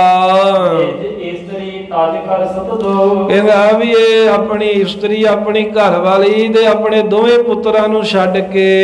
ਨਹੀਂ ਆਏ ਸਦ ਲੀਨੇ ਕੋ। ਕਹਿੰਦੇ ਇਹੋ ਜਿਹਾ ਤੂੰ ਚਲਾ ਗਿਆ ਵੀ ਆ ਕੇ ਉਹਨਾਂ ਦੀ ਖਬਰ ਸਾਰੀ ਨਹੀਂ ਲਈ ਵੀ ਵੇਖ ਲਈਏ ਹੈਗੇ ਆ ਜਾਂ ਨਹੀਂ ਹੈਗੇ। ਹੋਰ ਸਿਰੇ ਚੰਦ ਜੈ ਰਾਮ ਕਰ। ਗੁੱਸੇ 'ਚ ਆਇਆ ਮੂਲ ਚੰਦ ਕਹਿਣ ਲੱਗਾ ਗੁਰੂ ਨਾਨਕ ਸਾਹਿਬ ਨੂੰ ਵੀ ਜਿੰਨਾ ਚਿਰ ਤੇ ਜਿਹੜਾ ਮੇਰਾ ਵੱਡਾ ਦੋਤਾ ਸ਼੍ਰੀ ਚੰਦ, ਉਹ ਜੈ ਰਾਮ ਦੇ ਘਰ ਦੇ ਵਿੱਚ ਰਹਿੰਦਾ ਸੀ। ਆਨੰਦ ਬਿਲਾਸ ਉੱਥੇ ਤਾਂ ਇਹਨੇ ਬੜੇ ਆਨੰਦ ਬਲਾਸ ਕੀਤੇ, ਬੜਾ ਖੁੱਲਾ ਖਾਂਦਾ, ਪਹਿਨਦਾ ਰਿਹਾ। ਜਬ ਕੋ ਮੈਂ ਜਬ ਕੋ ਦਿਨ ਪਰ ਲੋਕ ਪਾ। ਪਰ ਜਦੋਂ ਦਾ ਜੈ ਰਾਮ ਤੇ ਬੇਬੇ ਨਾਨਕੀ ਤੁਹਾਡੇ ਭੈਣ ਜੀ ਦਾ ਪਰਲੋਕ ਗਮਨ ਹੋਇਆ ਜਦੋਂ ਦੇ ਉਹ ਚੜ੍ਹਾਈ ਗਏ ਕਰ ਗਏ ਹਨ ਆ ਕਹਿੰਦੇ ਵੀ ਇਹ ਵੀ ਮੇਰੇ ਘਰੇ ਆ ਗਿਆ ਵੀ ਇੱਕ ਤਾਂ ਮੈਂ ਪਹਿਲਾਂ ਹੀ ਲੈ ਕੇ ਆਇਆ ਸੀ ਤੁਹਾਡੇ ਛੋਟੇ ਪੁੱਤਰ ਲਖਮੀ ਚੰਦ ਨੂੰ ਤੇ ਜਦੋਂ ਹੁਣ ਤੁਹਾਡੇ ਭੈਣ ਤੇ ਤੁਹਾਡਾ ਭਾਈਆ ਚੜ੍ਹਾਈ ਕਰ ਗਏ ਸੁਲਤਾਨਪੁਰ ਚ ਤੇ ਹੁਣ ਵੱਡਾ ਜਿਹੜਾ ਸ਼੍ਰੀ ਚੰਦ ਹੈ ਉਹ ਵੀ ਕਹਿੰਦੇ ਵੀ ਇੱਥੇ ਮੇਰੇ ਘਰੇ ਹੀ ਆ ਗਿਆ ਹੈ। ਸਭ ਕੀ ਤੇ ਗੁੱਸੇ 'ਚ ਕਹਿੰਦਾ ਵੀ ਮੈਂ ਤੁਹਾਡੇ ਦੋਹਾਂ ਬੱਚਿਆਂ ਦੀ ਤੁਹਾਡੀ ਘਰਵਾਲੀ ਦੀ ਪ੍ਰਤਪਾਲਣਾ ਕੀਤੀ ਹੈ। ਨਹੀਂ ਆਏ ਇਨ ਕਬ ਸੁਧ ਲੈਨੇ। ਤੇ ਲਾਗੇ ਹੀ ਜਿੱਤਾ ਚੌਧਰੀ ਸੀ ਰੰਧਾਵਾ ਉਹਦੇ ਵੱਲ ਨੂੰ ਸੰਬੋਧਨ ਹੋ ਕੇ ਕਹਿੰਦਾ ਚੌਧਰੀ ਜੀ ਵੇਖ ਲਓ ਇਹ ਕਿਦਾਂ ਦਾ ਹੈ ਜਵਾਈ ਸਾਡਾ? ਇਹਨੇ ਆ ਕੇ ਨਹੀਂ ਖਬਰ ਲਈ ਵੀ ਇੱਕ ਰਾਂ ਮੈਂ ਪੁੱਛੀ ਆਵਾਂ ਵੀ ਕਿਵੇਂ ਉੱਥੇ ਕੱਟਦੇ ਨੇ ਦਿਨ ਮੇਰੇ ਬੱਚੇ? ਮੇਰੀ ਘਰ ਵਾਲੀ ਕਿਵੇਂ ਰਹਿੰਦੀ ਹੈ? ਉਹਨੋਂ ਹੋਤੋ ਫਕੀਰ ਜੇ ਇਹਨੇ ਫਕੀਰ ਹੋਣਾ ਸੀ ਜੇ ਆਸਾਦ ਹੀ ਬਣਨਾ ਸੀ ਇੱਕ ਦਿਨ। ਪਰਿਵਾਰ ਕੈਸੇ? ਫਿਰ ਆਪਣਾ ਪਰਿਵਾਰ ਕਿਉਂ ਸਹੇੜਿਆ ਭਾ? ਫਿਰ ਵਿਆਹ ਕਾਤੋਂ ਕਰਾਇਆ? ਨਿਆਣੇ ਕਾਤੋਂ ਜੰਮੇ ਜੇ ਸਾਹਮਣੇ ਨਹੀਂ ਸਨ? ਨਾਨਕ ਸੁਣ ਤੇ ਸਭ ਰਹੇ। ਧੰਨ ਗੁਰੂ ਨਾਨਕ ਦੇਵ ਮਹਾਰਾਜ, ਸੁਣਦੇ ਰਹੇ। ਸਤਿਗੁਰੂ ਨਹੀਂ ਬੋਲੇ। ਆਪਣੇ ਮਾਤਾ ਪਿਤਾ ਦੇ ਸਮਾਨ ਹੀ ਜਾਣ ਕੇ ਦੇਵੇ ਵੀ ਸਾਡਾ ਪਿਤਾ ਉਵੇਂ ਹੀ ਹੈ ਬਾਬਾ ਮੂਲ ਚੰਦ। ਮਹਾਰਾਜ ਸਾਹਿਬ ਜੀ ਨੂੰ ਬੋਲ ਭੈੜਾ ਚੰਦਰਾ ਰਿਹਾ ਏ। ਪਰ ਸਤਿਗੁਰੂ ਮਹਾਰਾਜ ਨੇ ਅੱਗੋਂ ਉੱਤਰ ਨਹੀਂ ਦਿੱਤਾ। ਉਹ ਵਾਕ ਨਾ ਮੁਕਤੇ ਕਹੇ। ਇੱਕ ਵੀ ਬਚਨ ਮਹਾਰਾਜ ਨੇ ਜਵਾਬ ਦੇ ਚ ਮੁਖੋਂ ਨਹੀਂ ਕਿਹਾ। ਅਜਤੇ ਨੇ ਸਮਝਾਇਓ। ਅਜਿੱਤਾ ਰੰਧਾਵਾ ਲਾਗਿਓ ਬੋਲਿਆ ਸਮਝਾਉਂਦਿਆਂ ਹੋਇਆ ਵੀ ਮੂਲ ਚੰਦ ਜੀ ਚਾਚਾ ਜੀ ਥੋੜਾ ਜਿਹਾ ਧੀਰਜ ਰੱਖੋ। ਕਠੋਰ ਨਾ ਤੁਮ ਬਨ ਆਇਓ ਵੀ ਤੈਨੂੰ ਇਦਾਂ ਕਠੋਰ ਕਹਿਣਾ ਨਹੀਂ ਬਣਾਉਂਦਾ ਵੀ ਜਵਾਈ ਭਾਈ ਆਪਣਾ ਆਇਆ ਹੈ ਤੇ ਆਪਾਂ ਇਦਾਂ ਇਹਨਾਂ ਨੂੰ ਮਾੜਾ ਨਾ ਬੋਲੀਏ। ਇਸ ਤਰ੍ਹਾਂ ਕਹਿ ਕੇ ਤੇ ਮੂਲ ਚੰਦ ਦੇ ਸਮੇਤ ਅਜਿੱਤਾ ਰੰਧਾਵਾ ਆਪਣੇ ਘਰ ਨੂੰ ਚਲਾ ਗਿਆ। ਉੱਤਮ ਭੋਜਨ ਬਣਵਾਇਓ ਤੇ ਬੜੇ ਉੱਤਮ ਬਹੁਤ ਚੰਗੇ ਭੋਜਨ ਬਣਵਾ ਵੀ ਲਿਆਇਆ। ਇੱਥੇ ਲੜਦਾ ਵੀ ਗਿਆ ਮੂਲ ਚੰਦ। ਤੇ ਲੜਦਾ ਲੜਦਾ ਘਰੇ ਗਿਆ ਤੇ ਘਰੇ ਜਾ ਕੇ ਤੇ ਮਹਾਰਾਜ ਦੇ ਛਕਣ ਵਾਸਤੇ ਭੋਜਨ ਤਿਆਰ ਕਰਵਾ ਲਿਆਇਆ ਚਾਰ ਚੀਰ ਕੇ ਕਰ ਨਿਜ ਸਮਰਥਾ ਤੇ ਆਪਣੇ ਹੱਥਾਂ ਦੇ ਵਿੱਚ ਸੋਹਣੇ ਕੱਪੜੇ ਜਿੱਦਾਂ ਗ੍ਰਿਸ਼ਤੀ ਪਹਿਨਦੇ ਨੇ ਉਹ ਗ੍ਰਿਸ਼ਤੀਆਂ ਵਾਲੇ ਕੱਪੜੇ ਵੀ ਲੈ ਕੇ ਆ ਗਿਆ ਵੀ ਆਪ ਪਾਉਂਗਾ ਮੈਂ ਹੁਣ। ਤੇ ਜਗਤ ਦੇ ਮਾਲਕ ਗੁਰੂ ਨਾਨਕ ਦੇਵ ਮਹਾਰਾਜ ਸਾਹਿਬ ਜੀ ਦੇ ਨੇੜੇ ਗਿਆ ਮੂਲ ਚੰਦ। ਸੋ ਜਰਤ ਜਾਸ ਕੀ ਛਾਤੀ ਅਜੇ ਸੋ ਬਾਬੇ ਮੂਲ ਚੰਦ ਦੀ ਜਿਹੜੀ ਛਾਤੀ ਹੈ ਕਰੋੜ ਗੁੱਸੇ ਦੇ ਵਿੱਚ ਬਹੁਤੀ ਸੜ ਮਚ ਰਹੀ ਸੀ। ਮਹਾਰਾਜ ਦਾ ਲਿਬਾਸ ਵੇਖ ਕੇ। ਨਾ ਕਿਉਂਕਿ ਜਿਹੜੀ ਸਤਿਗੁਰਾਂ ਨੇ ਤਿਆਗੀਆਂ ਵਾਲੀ ਮਰਿਆਦਾ ਬਣਾਈ ਹੈ ਹਿਰਦੇ ਵਿੱਚ ਇਹ ਨਹੀਂ ਚੰਗੀ ਲੱਗਦੀ ਮੂਲ ਚੰਦ ਨੂੰ ਵੀ ਇਹ ਤਿਆਗੀ ਕਾਤੋਂ ਬਣ ਗਏ ਹਨ। ਕੇ ਨਾਲੇ ਤੇ ਮਹਾਰਾਜ ਲਈ ਭੋਜਨ ਬਣਾ ਲਿਆ ਆ ਸਤਿਗੁਰਾਂ ਦੇ ਅੱਗੇ ਰੱਖਿਆ ਤੇ ਰੱਖ ਕੇ ਕਹਿਣ ਲੱਗਾ ਆਵੋ ਤੂੰ ਨਿਤ ਕੋ ਦੁਖਦਾਈ ਕਹਿਣ ਲੱਗਾ ਜਵਾਈਆ ਹੈ ਤੇ ਤੂੰ ਰੋਜ਼ ਦਾ ਦੁਖਦਾਈ ਹੈ ਮੈਨੂੰ ਦੁੱਖ ਹੀ ਦਿੱਤਾ ਹੈ ਜਾਂ ਫੇਰ ਵੀ ਤੇਰੇ ਲਈ ਮੈਂ ਲੈ ਕੇ ਆਇਆ ਤੇ ਆ ਖਾਲਾ ਕੁਝ। ਹੋਰਾ ਫਕੀਰੀ ਤਜੋ ਤੇ ਨਾਲੇ ਆ ਜਿਹੜੇ ਫਕੀਰਾਂ ਵਾਲੇ ਤਿਆਗੀਆਂ ਵਾਲੇ ਕੱਪੜੇ ਪਾਏ ਨੇ ਨਾ ਇਹ ਚੋਲਾ ਲਾ ਦੋ ਹੁਣੇ। ਪੈਰੋ ਬਸਨ ਦੇ ਚਾਰ। ਆ ਵੇਖੋ ਕਿੱਡੇ ਸੋਹਣੇ ਮੈਂ ਕੱਪੜੇ ਲੈ ਕੇ ਆਇਆ ਆ ਸੋਹਣੇ ਚਿੱਟੇ ਰੰਗ ਦੇ ਬਸਤਰਾ ਗ੍ਰਿਸ਼ਤੀਆਂ ਵਾਲੇ ਕੱਪੜੇ ਪਹਿਨ ਲਵੋ। ਹਰੇ ਸੋਦਰ ਬੰਦ ਜੀ। ਕਿਉਂਕਿ ਜਿਹੜਾ ਮੇਰੇ ਕੋਈ ਸਰੀਕੇ ਭਾਈਚਾਰੇ ਦੇ ਆ ਜਾਂ ਕੋਈ ਭਰਾ ਹਨ। ਇਹ ਮੈਂ ਖਵਾਰ ਉਹ ਮੈਨੂੰ ਉਹਨਾਂ 'ਚ ਖਵਾਰ ਨਾ ਕਰ ਉਹਨਾਂ ਦੇ ਵਿੱਚ ਮੇਰੀ ਬੇਪਤੀ ਨਾ ਕਰ। ਜਾਓ ਪਈ ਪੈਰ ਚੀਰ ਨਾ ਭੋਜਨ ਖਾਈ। ਧੰਨ ਗੁਰੂ ਨਾਨਕ ਦੇਵ ਮਹਾਰਾਜ ਸਾਹਿਬ ਜੀ ਨੇ ਨਾ ਤਾਂ ਉਹ ਬਸਤਰ ਪਹਿਨੇ ਜਿਹੜੇ ਮੂਲ ਚੰਦ ਜੀ ਕਹਿੰਦੇ ਸੀ ਵੀ ਆ ਕੱਪੜੇ ਪਾ। ਤੇ ਨਾ ਹੀ ਲਿਆਂਦਾ ਹੋਇਆ ਮਹਾਰਾਜ ਨੇ ਭੋਜਨ ਛਕਿਆ। ਇਥੋਂ ਤੀਕਰ ਵੀ ਸ੍ਰੀ ਗੁਰੂ ਨਾਨਕ ਦੇਵ ਮਹਾਰਾਜ ਸਾਹਿਬ ਜੀ ਮੁਖੋਂ ਕੁਝ ਬੋਲੇ ਹੀ ਨਹੀਂ। ਇਹਨੇ ਨੂੰ ਮਹਾਰਾਜ ਦੇ ਸਾਹਿਬਜ਼ਾਦੇ ਬਾਬਾ ਸ਼੍ਰੀ ਚੰਦ ਜੀ ਮਹਾਰਾਜ ਤੇ ਬਾਬਾ ਲਖਮੀ ਦਾਸ ਜੀ। ਬੜੇ ਲੰਮੇ ਸਮੇਂ ਬਾਅਦ ਪਿਤਾ ਦੇ ਦਰਸ਼ਨ ਹੋ ਰਹੇ ਸੀ ਤੇ ਗੁਰੂ ਨਾਨਕ ਦੇਵ ਮਹਾਰਾਜ ਦੇ ਕੋਲ ਆਏ। ਤੇ ਆ ਕੇ ਬੰਦਨਾ ਕੀਤੀ, ਨਮਸਕਾਰ ਕੀਤੀ ਸਹਿਬਾਨੋ। ਇਹ ਨਮਸਕਾਰ ਕਰਕੇ ਤੇ ਬਾਬਾ ਸ਼੍ਰੀ ਚੰਦ ਬਾਬਾ ਲਖਮੀ ਦਾਸ ਜੀ ਵੀ ਬੈਠ ਗਏ ਤੇ ਮਹਾਰਾਜ ਅੱਗੇ ਭੋਜਨ ਰੱਖਿਆ ਏ ਬਾਬੇ ਮੂਲ ਚੰਦ ਨੇ ਤੇ ਕੱਪੜੇ ਵੀ ਰੱਖੇ ਆ ਤੇ ਬੈਠੇ ਰਹੇ ਤੇ ਬੈਠਿਆਂ ਹੋਇਆ ਜਦੋਂ 3 ਘੰਟੇ ਦਾ ਸਮਾਂ ਲੰਘਾ।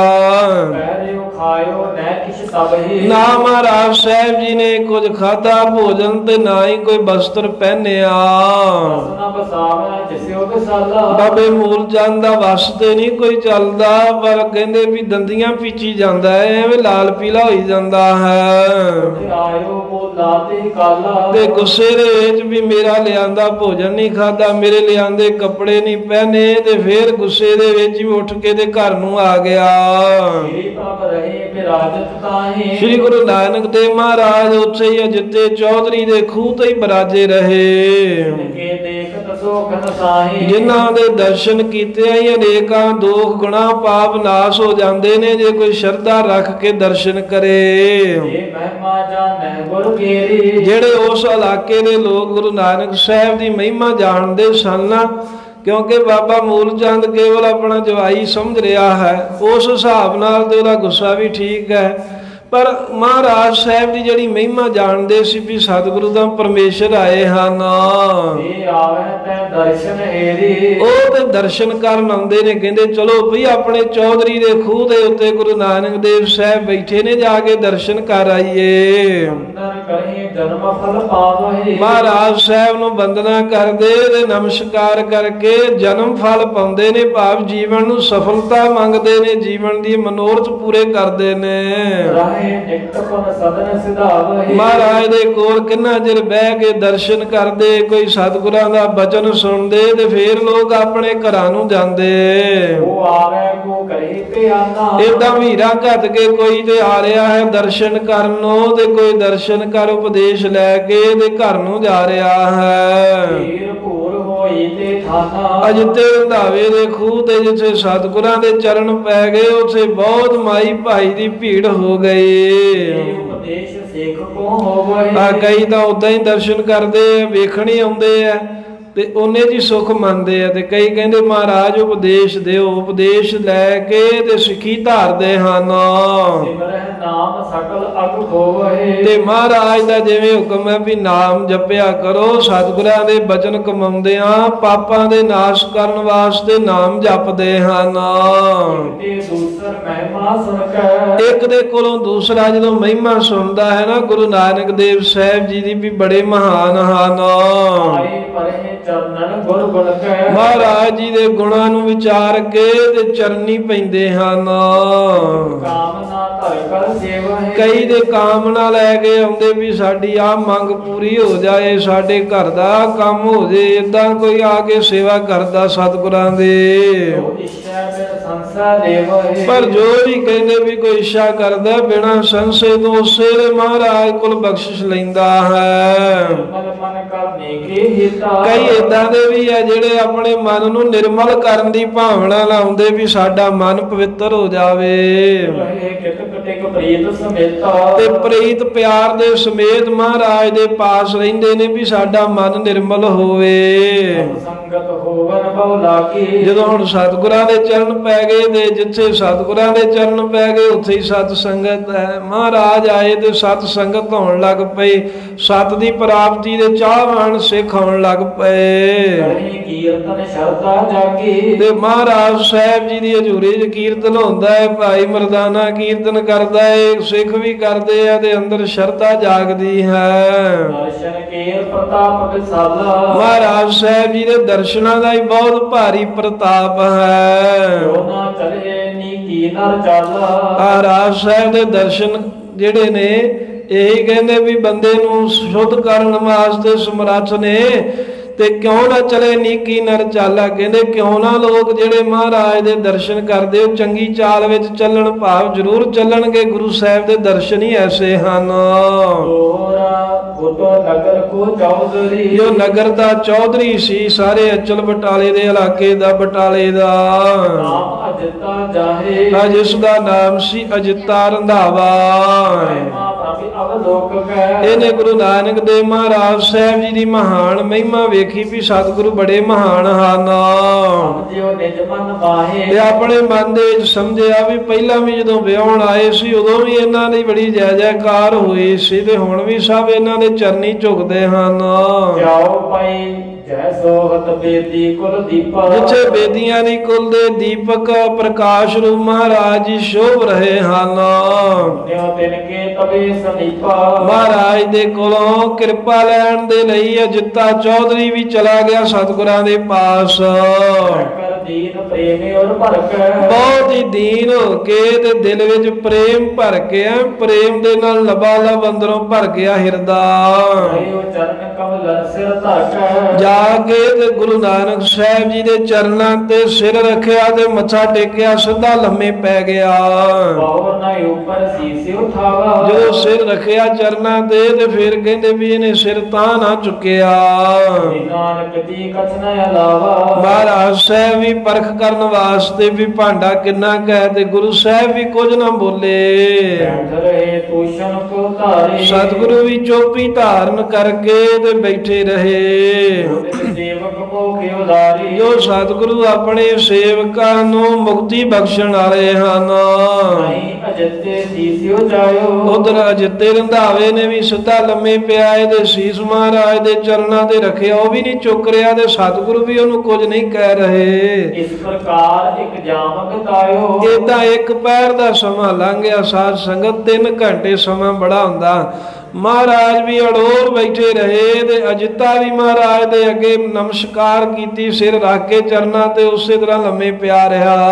ਕਿਰਪਾ ਦ੍ਰਿਸ਼ਟ ਕੋ ਦੇਖ ਗੁਸਾਈ ਮਹਾਰਾਜ ਨੇ ਫਿਰ ਮਿਹਰ ਦੀ ਨਿਗਾਹ ਦੇ ਨਾਲ ਜਗਤ ਮਾਲਕ ਸਤਿਗੁਰਾਂ ਤੱਕਿਆ ਵੇਖਿਆ ਵੀ ਵਾਕਿਆ ਹੀ ਵੀ ਭਾਂਡਾ ਹੁਣ ਜੋਗ ਹੈ। ਵਰਦਲ ਮਦਰ ਮੁਖ ਗਿਰਾ ਅਲਾਈ ਬਹੁਤ ਹੀ ਕੋਮਲ ਤੇ ਮਿੱਠਾ ਬਚਨ ਮਹਾਰਾਜ ਨੇ ਮਿੱਠੀ ਬਾਣੀ ਮੁਖੋਂ ਕਹੇ।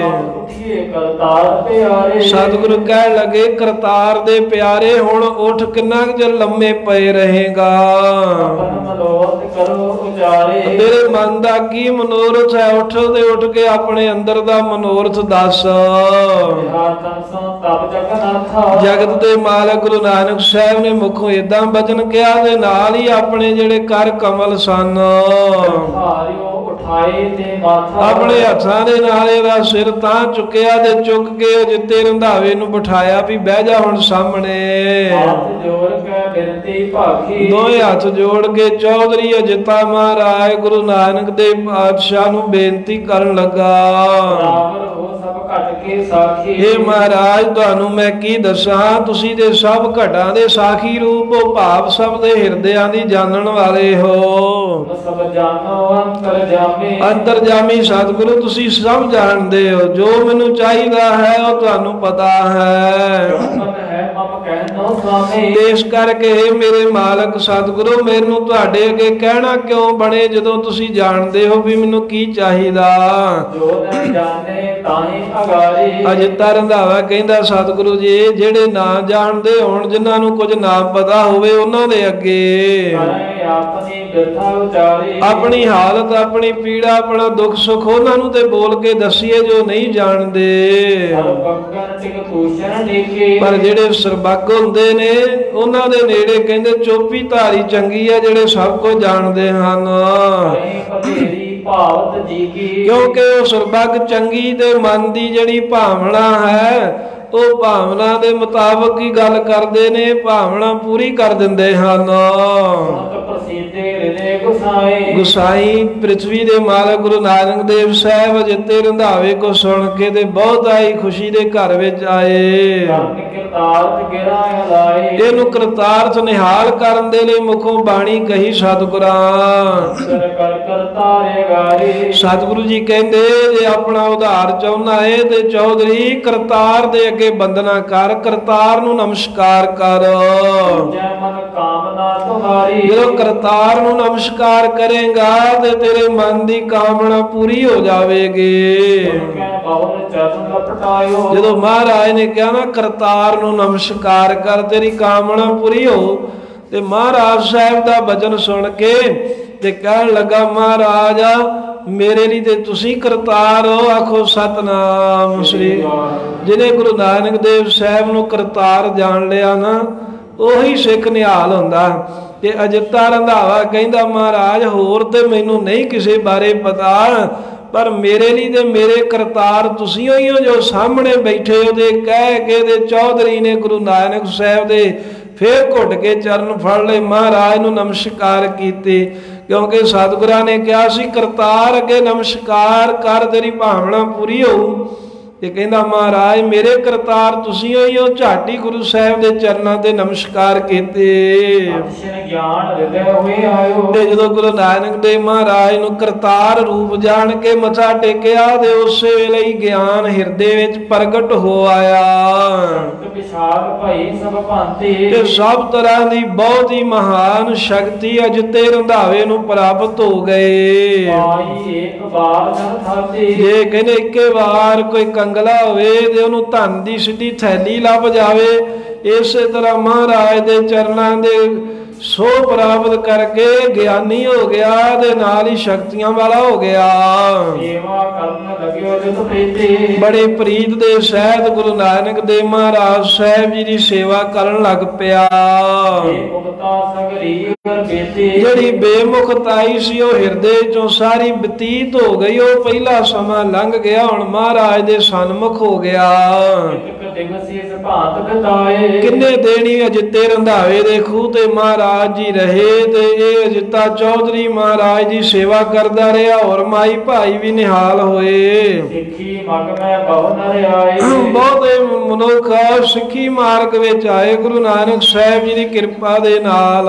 ਇੱਕ ਦਿਨ ਸਾਸ ਸਸਰ ਗੁਰ ਕੇਰੇ। ਕਿੰਨੇ ਦਿਨ ਮਹਾਰਾਜ ਨੂੰ ਬਾਹਰ ਹੀ ਬੈਠਿਆਂ ਹੋਏ ਗਏ ਤੇ ਇੱਕ ਦਿਨ ਦੀ ਗੱਲ ਹੈ ਮਹਾਰਾਜ ਜੀ ਦੇ ਸੱਸ ਸਹੁਰਾ ਬਾਬਾ ਮੂਲ ਚੰਦ ਦੇ ਸੱਸ ਚੰਦੋ ਰਾਣੀ। ਆਏ ਨਿਕਟ ਕ੍ਰੋਧ ਕੀ ਪ੍ਰੇਰੇ। ਕਹਿੰਦੇ ਬੜੇ ਕ੍ਰੋਧ ਦੇ ਪ੍ਰੇਰੇ ਹੋਏ। ਮਹਾਰਾਜ ਜੀ ਦੇ ਕੋਲ ਆਏ ਵੀ ਗੁੱਸਾ ਕੱਢਣ ਹੀ ਆਉਂਦੇ ਸੀ ਸਤਿਗੁਰਾਂ ਕੋ ਕਿਉਂਕਿ ਮਹਾਰਾਜ ਕੋ ਕੁਝ ਕਹਿੰਦੇ ਨਹੀਂ ਸਨ। ਤੇ ਹੁਣ ਆਏ ਦੇ ਨਾਲ ਮਾਤਾ ਸੁਲਖਣੀ ਜੀ ਧੰਨ ਸ੍ਰੀ ਮਾਤਾ ਸੁਲਖਣੀ ਜੀ ਵੀ ਨਾਲ ਚੱਲ ਕੇ ਆਏ ਨੇ ਆਪਣੇ ਸਵਾਮੀ ਦੇ ਦਰਸ਼ਨ ਕਰਨ। ਤੇ ਆ ਕੇ ਤੇ ਮਹਾਰਾਜ ਗੁਰੂ ਨਾਨਕ ਦੇਵ ਸਾਹਿਬ ਜੀ ਦੇ ਕੋਲ ਬੈਠ ਗਏ। ਜਦੋਂ ਬੈਠ ਗਏ ਤੇ ਬਹਿੰਦੇ ਅਨਸਾਰ ਫਿਰ ਚੰਦੋ ਰਾਣੀ ਬੋਲੀ, ਮਾਈ ਤੁਮ ਗੱਲ ਇੱਥੋਂ ਹੀ ਸ਼ੁਰੂ ਕੀਤੀ। ਵੇ ਨਾਨਕਾ, ਵੇ ਜਵਾਈਆ, ਤੂੰ ਕਰਾਈਏ ਦਾ ਕਰਾਈਏ ਰਿਆ ਨਾ। ਕਹਿੰਦੇ ਵੀ ਜਿਹੜੇ ਕੱਪੜੇ ਪਹਿਲਾਂ ਪਾਏ ਸੀ, ਉਹੀ ਸਾਧਾਂ ਵਾਲੇ ਕੱਪੜੇ ਹੁਣ ਪਾਈ ਫਿਰਦਾ। ਤੂੰ ਕਰਾਈਆ ਹੀ ਰਿਹਾ। ਸਦਾ ਸਦਾ ਤੂੰ ਸਾਡੀ ਛਾਤੀ ਸਾੜੀ ਹੋਈ ਐ। ਅਸੀਂ ਤਾਂ ਸੜਦੇ ਭੁੱਜਦੇ ਰਹੇ ਆ। ਤੇਰੀਆਂ ਇਹ ਕਰਤੂਤਾਂ ਵੇਖ ਕੇ ਇਦਾਂ ਦਾ ਭੇਖ ਲਿਬਾਸ ਵੇਖ ਕੇ। ਮਾਈ ਚੰਦੋ ਰਾਣੀ ਮਹਾਰਾਜ ਗੁਰੂ ਨਾਨਕ ਸਾਹਿਬ ਜੀ ਨੂੰ ਕ੍ਰੋਧ ਨਾਲ ਕਹਿੰਦੀ ਵੇ, ਨਾਨਕ ਜਵਾਈਆ ਨਾ ਤਾਂ ਤੂੰ ਆਪਣੇ ਪੁੱਤਰ ਤੇ ਨਾ ਆਪਣੀ ਘਰ ਦੀ ਦਾ ਖਿਆਲ ਰੱਖਿਆ ਆਪਣਾ ਸਾਰਾ ਟੱਬਰ ਛੱਡ ਕੇ। ਤੇ ਪ੍ਰਦੇਸ਼ਾਂ ਦੇ ਵਿੱਚ ਦਰ ਦਰ ਤੇ ਫਿਰਦਾ ਰਿਹਾ, ਕਦੀ ਕਿਤੇ ਕਦੀ ਕਿਤੇ ਫਿਰਿਆ। ਤੈ ਹਾਸਲ ਕੀਨਾ ਤੇ ਚੰਦੋ ਰਾਈ ਮਾ- ਚੰਦੋ ਰਾਣੀ ਮਾਈ ਕਹਿਣ ਲੱਗੀ ਵੀ ਜਿਹੜਾ ਇੰਨੇ ਦੇਸ਼ਾਂ 'ਚ ਤੂੰ ਫਿਰਿਆ ਹੈ ਪਰੌਣਿਆ ਕੀ ਕਹਿੰਦੇ ਤੂੰ ਹੱਥ ਹਾਸਲ ਕੀਤਾ ਹੈ ਕੀ ਕਹਿੰਦੇ ਤੇਰੇ ਹੱਥ ਲੱਗ ਗਿਆ ਵੀ ਜਿਹੜਾ ਤੂੰ ਕਹਿੰਦਾ ਸੀ ਮੈਂ ਪ੍ਰਦੇਸ਼ਾਂ 'ਚ ਫਿਰਨਾ? ਸਗੋਂ ਜਿਹੜਾ ਆਪਣਾ ਧਨ ਸੀ ਸੁਲਤਾਨਪੁਰ ਰਹਿੰਦੇ ਆ ਸੋਹਣਾ ਕਾਰੋਬਾਰ ਸੀ ਉਹ ਕਾਰੋਬਾਰ ਵੀ ਖਰਾਬ ਕਰ ਲਿਆ। ਤੇ ਜਿਹੜਾ ਕੋਈ ਧਨ ਸੀ, ਉਹ ਵੀ ਕਹਿੰਦੇ ਗਵਾ ਲਿਆ ਲੱਭਿਆ ਦੇ ਕੁਝ ਨਾ। ਪਰਦੇਸਾਂ ਦੇ ਵਿੱਚ ਕਹਿੰਦੇ ਦਰ ਦਰ ਦੀਆਂ ਠੋਕਰਾਂ ਹੀ ਖਾਧੀਆਂ, ਕਿਉਂਕਿ ਉਹਨੂੰ ਹੁਣ ਕੀ ਪਤਾ ਵੀ ਇਹਦੇ ਠੋਕਰਾਂ ਖਾਂਦਿਆਂ ਨੂੰ ਉਦਾਹਰਨ ਆਏ ਉਹ ਮਾਈ ਆਪਣੀ ਸੰਸਾਰੀ ਬੋਲੀ ਚ ਮਹਾਰਾਜ ਨੂੰ ਕਹਿ ਰਹੀ ਕਹਿੰਦੀ ਦਰ ਦਰ ਦੀਆਂ ਠੋਕਰਾਂ ਖਾਧੀਆਂ ਕੀ ਲੱਭਿਆ ਜਾ ਕੇ ਪਰਦੇਸਾਂ 'ਚ? ਜਿਹੜੀ ਕੋਈ ਜਗਤ ਦੀ ਲਾਜ ਹੁੰਦੀ ਹੈ ਭਾਈਚਾਰੇ ਦੀ ਉਹਦੇ ਇੱਕੇ ਵਾਰੀ ਲਾ ਛੱਡੀ ਸ਼ਰਮ ਸ਼ਰਮ। ਤੇ ਸਾਰੇ ਕਹਿੰਦੇ ਸਰੀਕੇ ਭਾਈਚਾਰੇ 'ਚ ਸਾਨੂੰ ਵੀ ਖਵਾਰ ਕੀਤਾ ਸਾਡੀ ਵੀ ਬੇਪਤੀ ਕੀਤੀ। ਨਾਨਕ ਜੋਜ ਮਾਤਾ। ਜਿਹੜੇ ਲੋਕ ਹੈ ਉਹ ਸਾਡੇ ਵੱਲ ਇਸ਼ਾਰਾ ਕਰਕੇ ਕਹਿੰਦੇ ਵੀ ਜਿਹੜਾ ਫਲਾਣੇ ਦਾ ਜਮਾਤਾ ਨਾ ਭਾਵ ਜਿਹੜਾ ਮੂਲ ਚੰਦ ਦਾ ਪ੍ਰਾਹੁਣਾ ਹੈ। ਕਹਿੰਦੇ ਸੁਣਿਆ ਨਹੀਂ ਉਹ ਤੇ ਫਕੀਰ ਬਣ ਗਏ ਆਪਣੇ ਨਿਆਣੇ ਛੱਡ ਕੇ ਆਪਣੀ ਘਰ ਵਾਲੀ ਛੱਡ ਕੇ ਆਪ ਸਾਧ ਬਣ ਕੇ ਤੁਰਿਆ ਫਿਰਦਾ। ਚੰਦੋ ਰਾਣੀ ਕਹਿੰਦੀ ਏਦਾਂ ਲੋਕ ਸਾਨੂੰ ਵੇਖ ਵੇਖ ਕੇ ਟਿਚਰਾਂ ਕਰਦੇ ਨੇ ਇਹਨਾਂ ਦਾ ਪਰੋਣਾ ਫਕੀਰ ਬਣ ਗਿਆ। ਹੈ ਧੰਨ ਗੁਰੂ ਨਾਨਕ ਦੇਵ ਮਹਾਰਾਜ ਸਾਹਿਬ ਸਦੇ ਪਾਤਸ਼ਾਹ ਚੋਪੀ ਹੋਏ ਰਹੇ ਵੀ ਜਿਹੋ ਜੀ ਸਾਡੀ ਮਾਂ ਤ੍ਰਿਪਤਾ ਉਹ ਜੀ ਚੰਦੋ ਰਾਣੀ ਸਤਿਗੁਰਾਂ ਨੇ ਉੱਤਰ ਦਿੱਤਾ। ਹਾਲਾਂਕਿ ਮਾਤਾ ਤ੍ਰਿਪਤਾ ਜੀ ਦਾ ਸੁਭਾਅ ਬੜਾ ਹੀ ਨਰਮ ਸੀ ਕਦੀ ਮਾੜਾ ਨਹੀਂ ਸੀ ਬੋਲੇ। ਕੈਸੇ। ਤਰ੍ਹਾਂ ਦਾ ਵੀ ਕੋਈ ਮਹਾਰਾਜ ਨੇ ਹਾਂ ਨਾ ਦਾ ਵੀ ਕੋਈ ਬਚਨ ਨਹੀਂ ਆਪਣੀ ਸੱਸ ਦੇ ਸਾਹਮਣੇ ਕਿਹਾ। ਜਦੋਂ ਅਜਿੱਤੇ ਰੰਧਾਵੇ ਨੂੰ ਕਿਸੇ ਨੇ ਘਰੇ ਜਾ ਕੇ ਦੱਸਿਆ ਨਾ ਵੀ ਉਹ ਮੂਲ ਚੰਦ ਤੇ ਉਹਦੀ ਘਰ ਦੀ ਗਈ ਹੈ ਤੇ ਮਹਾਰਾਜ ਨੂੰ ਜਾ ਕੇ ਬੋਲ ਕਬੋਲ ਕਰ ਰਹੇ ਹਨ। ਜਾ ਕੇ ਕਿਸੇ ਨੇ ਦੱਸਿਆ ਮੂਲ ਚੰਦ ਆਪਣੀ ਘਰ ਵਾਲੀ ਦੇ ਸਮੇਤ ਗੁਰੂ ਨਾਨਕ ਦੇਵ ਸਾਹਿਬ ਨਾਲ ਝਗੜਾ ਕਰ ਰਿਹਾ ਏ। ਅਜਿੱਤਾ ਰੰਧਾਵਾ ਘਰੋਂ ਕਹਿੰਦੇ ਨੰਗੇ ਪੈਰੀ ਵਾਹ ਦਾਈ ਦੌੜਿਆ ਤੇ ਦੌੜ ਕੇ ਆਪਣੇ ਖੂਹ ਤੇ ਆ ਗਿਆ। ਤੇ ਆਉਂਦੇ ਅਨਸਾਰ ਵੇਖਿਆ ਵੀ ਵਾਕਿਆ ਹੀ ਤੂੰ ਤੂੰ ਮੈਂ ਮੈਂ ਕਰਕੇ ਬੋਲ ਰਿਹਾ ਤੇ ਉਹ ਮਹਾਰਾਜ ਅੱਗੋਂ ਕੁਝ ਨਹੀਂ ਕਹਿ ਰਹੇ। ਤੇ ਵੇਖ ਕੇ ਇਹਨਾਂ ਨੂੰ ਇਦਾਂ ਬੋਲਦੇ ਆ ਅਜਿੱਤਾ ਰੰਧਾਵਾ ਕਹਿਣ ਲੱਗਾ। ਜੀ ਕਹਿ ਕਿਉ ਸੀਸ ਖਪਾਵਤ ਕਹਿਣ ਲੱਗਾ ਇਹ ਚੰਦੋ ਰਾਣੀ ਚਾਚੀ ਉੱਚੀ ਬੋਲ ਬੋਲ ਕੇ ਕਾਹਤੋਂ ਆਪਣਾ ਸਿਰ ਖਪਾਉਣੀ ਹੈ? ਦੁਖੀ ਹੋਏ? ਕਾਹਤੋਂ ਤੂੰ ਦੁਖੀ ਹੁੰਦੀ ਹੈ? ਕਾਹਤੋਂ ਐਵੇਂ ਪਛਤਾਤਾਪ ਕਰਦੀ ਹੈ? ਤੂੰ ਇਹਨਾਂ ਨੂੰ ਆਪਣਾ ਕੇਵਲ ਇਹ ਨਾ ਸਮਝਾਓ ਵੀ ਧੀ ਦਾ ਪਰੋਣਾ ਹੈ ਜਵਾਈ ਨਾ ਸਮਝਾਏ ਤੇ ਮਹਾਪੁਰਖ। ਔਰ ਮਤੋ ਉਚੇਰਾ ਦੇ ਇਹਨਾਂ ਦਾ ਜਿਹੜਾ ਮਤਾ ਹੈ ਨਾ ਇਹਨਾਂ ਦੀ ਜਿਹੜੀ ਸੋਚ ਹੈ ਬੜੀ ਉੱਚੀ ਹੈ। ਤੁਸੀਂ ਉੱਥੋਂ ਤਾਂ ਹੀ ਨਹੀਂ ਸੋਚ ਸਕਦੇ ਜਾਂ ਪਹੁੰਚ ਸਕਦੇ। ਭੇਦ ਨ ਜਾਣ ਸਕੋ ਇਨ ਕੀਰਾ ਤਾਈਓ ਦੁਖੀ ਹੁੰਦੇ ਹੋ ਕਿਉਂਕਿ ਤੁਹਾਨੂੰ ਗੁਰੂ ਨਾਨਕ ਸਾਹਿਬ ਦਾ ਭੇਦ ਹੀ ਨਹੀਂ ਆਇਆ। ਜਿਹਨੂੰ ਪਤਾ ਹੀ ਨਹੀਂ ਮਹਾਰਾਜ ਦਾ ਉਹ ਕਿਵੇਂ ਆਨੰਦ ਮਾਣੇਗਾ। ਤੇ ਤੁਹਾਨੂੰ ਸਮਝ ਨਹੀਂ ਆਈ ਇਹ ਕੌਣ ਹਨ? ਤੁਸੀਂ ਕੁਝ ਹੋਰ ਸਮਝੀ ਫਿਰਦੇ ਹੋ? ਵੀ ਇਹ ਸਾਡਾ ਰਿਸ਼ਤੇਦਾਰ ਹੈ ਤੇ ਇਹ ਤਾਂ ਸਾਰਿਆਂ ਨੂੰ ਤਾਰਨ ਆਇਆ ਨਿਰੰਕਾਰ ਹੈ ਤੁਸੀਂ ਨਹੀਂ ਭੇਦ ਜਾਣਦੇ ਇਹਨਾਂ ਦਾ।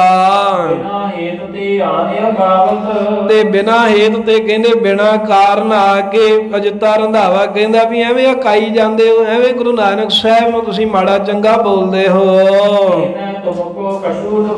ਇਹ ਤੁਹਾਡਾ ਕੁਝ ਦਿਖਾਉਂਦੇ ਆ ਤੁਹਾਡਾ ਕੁਝ ਖਾਂਦੇ ਆ ਵੀ ਜਿਹੜਾ ਆਉਂਦੇ ਹੋ ਤੀਜੇ ਚੌਥੇ ਦਿਨ ਉੱਠ ਕੇ ਤੇ ਆ ਕੇ ਇਹਨਾਂ ਨੂੰ ਬੋਲਣ ਲੱਗ ਪੈਂਦੇ ਹੋ ਵੱਧ ਘੱਟ।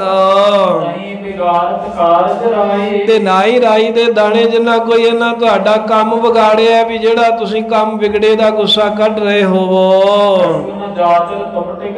ਤੇ ਨਾ ਇਹ ਤੁਹਾਡੇ ਕੋਲੋਂ ਕੋਈ ਆ ਕੇ ਮੰਗਦੇ ਆ ਵੀ ਜਾਂ ਤਾਂ ਹੋਵੇ ਨਾ ਵੀ ਕਹੋ ਵੀ ਇਹ ਸਾਡੇ ਕੋਲ ਮੰਗਦੇ ਆ ਤੇ ਅਸੀਂ ਤਾਂ ਇਹਨਾਂ ਨੂੰ ਕਹਿੰਦੇ ਹਾਂ। ਕਠੋਰ ਗਿਰਾਨੋ ਖਦਾਈ ਐਵੇਂ ਬਿਨਾ ਕਾਰਨ ਜਿੱਤਾ ਰੰਧਾਵਾ ਕਹਿੰਦਾ ਤੁਸੀਂ ਗੁਰੂ ਨਾਨਕ ਸਾਹਿਬ ਜੀ ਨੂੰ ਕਠੋਰ ਤੇ ਦੁੱਖ ਦੇਣ ਵਾਲੇ ਬਚਨ ਕਹਿੰਦੇ ਹੋ। ਨਾਕ ਰੋਸ ਕਰੋ ਅਕਲਾਈ ਇਹ ਚਾਚੀ ਚਾਚਾ ਤੁਸੀਂ ਕਹਿੰਦੇ ਐਵੇਂ ਵਿਆਕਲ ਹੋ ਕੇ ਬਿਨਾ ਕਹਿੰਦੇ ਵੀ ਕਿਸੇ ਕਾਰਨ ਇਹਨਾਂ ਨੂੰ ਮਾੜੇ ਚੰਗੇ ਲਫ਼ਜ਼ ਬੋਲਦੇ ਹੋ ਆ ਕੇ ਇਹਨਾਂ ਦੇ ਰੋਸ ਛਾਣਦੇ ਹੋ। ਫਕੀਰ ਬਿਰਕਤ ਮਨ ਮਾਹੀ ਇਹ ਤਾਂ ਫਕੀਰ ਨੇ ਤੇ ਮਨ ਦੇ ਵਿੱਚ ਬਰਕਤ ਨੇ ਮੋਹ ਨਹੀਂ ਕਿਸੇ ਪ੍ਰਕਾਰ ਦਾ ਸੰਸਾਰ ਦਾ ਇਹਨਾਂ ਨੂੰ। ਆਪ ਤੁਮ ਕਾਜ ਰਹਿਓ ਕੋ ਨਾਹੀ। ਤੇ ਤੁਹਾਡਾ ਕੋਈ ਇਹਨਾਂ ਨਾਲ ਕੰਮ ਹੀ ਨਹੀਂ ਰਿਹਾ ਇਹ ਤਾਂ ਸਾਰਿਆਂ ਦੇ ਸਾਂਝੇ ਹੋ ਗਏ ਹੁਣ ਤੁਹਾਡੇ ਕੱਲਿਆਂ ਦੇ ਥੋੜਾ ਹਨ ਸੰਤੋਖ ਸਦਨ ਨਿਜ ਬੈਸੋ ਅਜਿੱਤਾ ਚੌਧਰੀ ਕਹਿਣ ਲੱਗਾ ਵੀ ਸੰਤੋਖ ਰੱਖ ਕੇ ਇਹ ਚਾਚਾ ਚਾਚੀ ਘਰ ਦੇ ਵਿੱਚ ਬੈਠੋ ਆਪਣਾ ਕੰਮ ਕਰੋ। ਤੇ ਆਪਣੇ ਮੁਖੋਂ ਕਿਸੇ ਤਰ੍ਹਾਂ ਦਾ ਵੀ ਚੰਗਾ ਮਾੜਾ ਕੋਈ ਬਚਨ ਨਾ ਇਹਨਾਂ ਨੂੰ ਕਹੋ। ਚੰਦੋ ਰਾਣੀ ਤੇ ਚੁੱਪ ਹੋ ਗਈ ਉਹਦੇ ਨਹੀਂ ਬੋਲੀ ਤੇ ਬਾਬਾ ਮੂਲ ਚੰਦ ਬੋਲਿਆ ਕਹਿਣ ਲੱਗਾ ਅਜਿੱਤੇ ਰੰਧਾਵੇ ਤੂੰ ਸਿਆਣਾ ਹੈ। ਚੌਧਰੀ ਸਭ ਜਾਣੇ। ਤੂੰ ਪਿੰਡ ਦਾ ਚੌਧਰੀ ਹੈ ਤੇ ਸਭ ਤਰ੍ਹਾਂ ਕਰਕੇ ਤੂੰ ਜਾਣਦਾ ਹੈ। ਵੀ ਸਾਨੂੰ ਗੁੱਸਾ ਕਾਹਦਾ ਆਉਂਦਾ ਹੈ? ਗੁੱਸਾ ਇਹ ਆਉਂਦਾ ਹੈ ਵੀ ਪਹਿਲਾਂ ਜਦੋਂ ਅਸੀਂ ਵਿਆਹੀ ਸੀ ਆਪਣੀ ਧੀਏ ਦੇ ਨਾਲ ਤਾਂ ਇਹਨਾਂ ਦੇ ਕੋਲ ਧਨ ਬਹੁਤ ਸੀ ਮਾਇਆ ਬਹੁਤ ਸੀ। ਪਰ ਬਿਨਾ ਕਹਿੰਦੇ ਦੇਰੀ ਲਾਇਆ ਉਹ ਸਾਰਾ ਧਨ ਪਦਾਰਥ ਇਹਨਾਂ ਨੇ ਲੁਟਾ ਦਿੱਤਾ। ਆਪਣੇ ਮਨ ਚ ਇੰਨੀ ਵੀ ਗੱਲ ਨਹੀਂ ਵਿਚਾਰੀ ਇੰਨਾ ਵੀ ਸੋਚਿਆ ਨਹੀਂ ਮੇਰੇ ਜਵਾਈ ਨੇ। ਵੀ ਜੋ ਮੇਰੀ ਘਰ ਵਾਲੀ ਹੈ, ਜੋ ਮੇਰੇ ਨਿਆਣੇ ਆ, ਉਹ ਕਿੱਥੋਂ ਖਾਣਗੇ ਜੇ ਮੈਂ ਸਾਰਾ ਕੁਝ ਇਦਾਂ ਹੀ ਫਕੀਰਾਂ ਨੂੰ ਲਟਾ ਦਿਆਂਗਾ? ਮੂਲਚੰਦ ਕਹਿੰਦਾ ਇਹਨਾਂ ਨੇ ਇੰਨਾ ਵੀ ਸੋਚਿਆ ਨਹੀਂ। ਸਭ ਵਿਵਹਾਰ ਦਰਪ ਤੇ ਹੋਈ ਕਿਉਂਕਿ ਚੌਧਰੀ ਜੀ ਤੁਸੀਂ ਜਾਣਦੇ ਹੀ ਹੋ ਨਾ ਦੁਨੀਆ ਦੇ ਸਾਰੇ ਕੰਮ ਧਨ ਨਾਲ ਹੀ ਹੁੰਦੇ ਆ ਨਾ ਧਨ ਤੋਂ ਬਿਨਾ ਨਹੀਂ ਕੋਈ ਕੰਮ ਹੁੰਦਾ। ਉਹ ਦੀਨ ਤੇ ਜਿਹੜੇ ਧਨ ਨਾਲ ਕੰਮ ਹੋਣੇ ਸੀ ਉਹ ਤਾਂ ਸਾਡੇ ਜਵਾਈ ਗੁਰੂ ਨਾਨਕ ਸਾਹਿਬ ਨੇ ਸਾਰੇ ਵਿਅਰਥ ਹੀ ਗਵਾ ਦਿੱਤੀ ਮਾਇਆ। ਔਰ ਤਜੀ ਜਗਤ ਕੀ ਲਾਜ। ਚਲੋ ਉਹ ਤੇ ਮਾਇਆ ਦੇ ਗਵਾਈ ਗਵਾਈ ਫਕੀਰਾਂ ਸਾਧਾਂ ਨੂੰ ਖਵਾਈ ਬਾਅਦ ਜਗਤ ਦੀ ਸੰਗ ਸ਼ਰਮ ਵੀ ਸਾਰੀ ਲਾਹ ਸੁੱਟੇ। ਉਹ ਇਹ ਕੀਤਾ ਵੀ ਸਰੀਰ ਤੇ ਵੀ ਫਕੀਰਾਂ ਵਾਲੇ ਕੱਪੜੇ ਪਾ ਲਏ ਜਿਨ੍ਹਾਂ ਫਕੀਰਾਂ ਨੂੰ ਖਵਾਉਂਦੇ ਰਹੇ ਅਖੀਰ ਉਹਨਾਂ ਵਰਗੇ ਫਕੀਰ ਹੀ ਸਾਧ ਹੀ ਬਣ ਗਏ।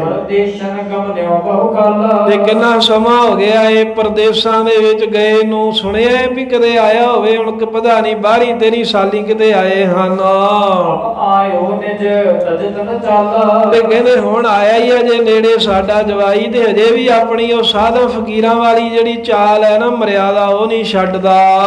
ਬੈਠ ਸਮੀਪ ਕਹਿੰਦਾ, ਚੌਧਰੀ ਅਜਿੱਤਾ ਜੀ, ਭਤੀਜ ਭਤੀਜਾ ਜਦੋਂ ਤੇ ਚਲੋ ਦੂਰ ਗਏ ਸੀ ਅੱਖਾਂ ਤੋਂ ਓਲੇ ਤੇ ਅਸੀਂ ਜੇ ਕਵੇਂ ਸਮਾਂ ਲੰਘਾਈ ਜਾਂਦੇ ਸੀ ਉਦੋਂ ਸਾਨੂੰ ਕੋਈ ਇੰਨਾ ਰੋਸ ਨਹੀਂ ਹੁਣ ਜਦੋਂ ਸਾਡੇ ਸਾਹਮਣੇ ਆ ਕੇ ਬਹਿ ਗਿਆ ਨਾ ਸਾਧੂ ਬਣ ਕੇ ਤੇ ਵੇਖ ਵੇਖ ਕਹਿੰਦੇ ਸਾਡੀ ਛਾਤੀ ਜਿਹੜੀ ਹੈ ਨਾ ਸੜਦੀ ਹੈ ਵੇਖ ਕੇ ਨਹੀਂ ਸਾਡੇ ਕੋ ਜਰਿਆ ਜਾਂਦਾ।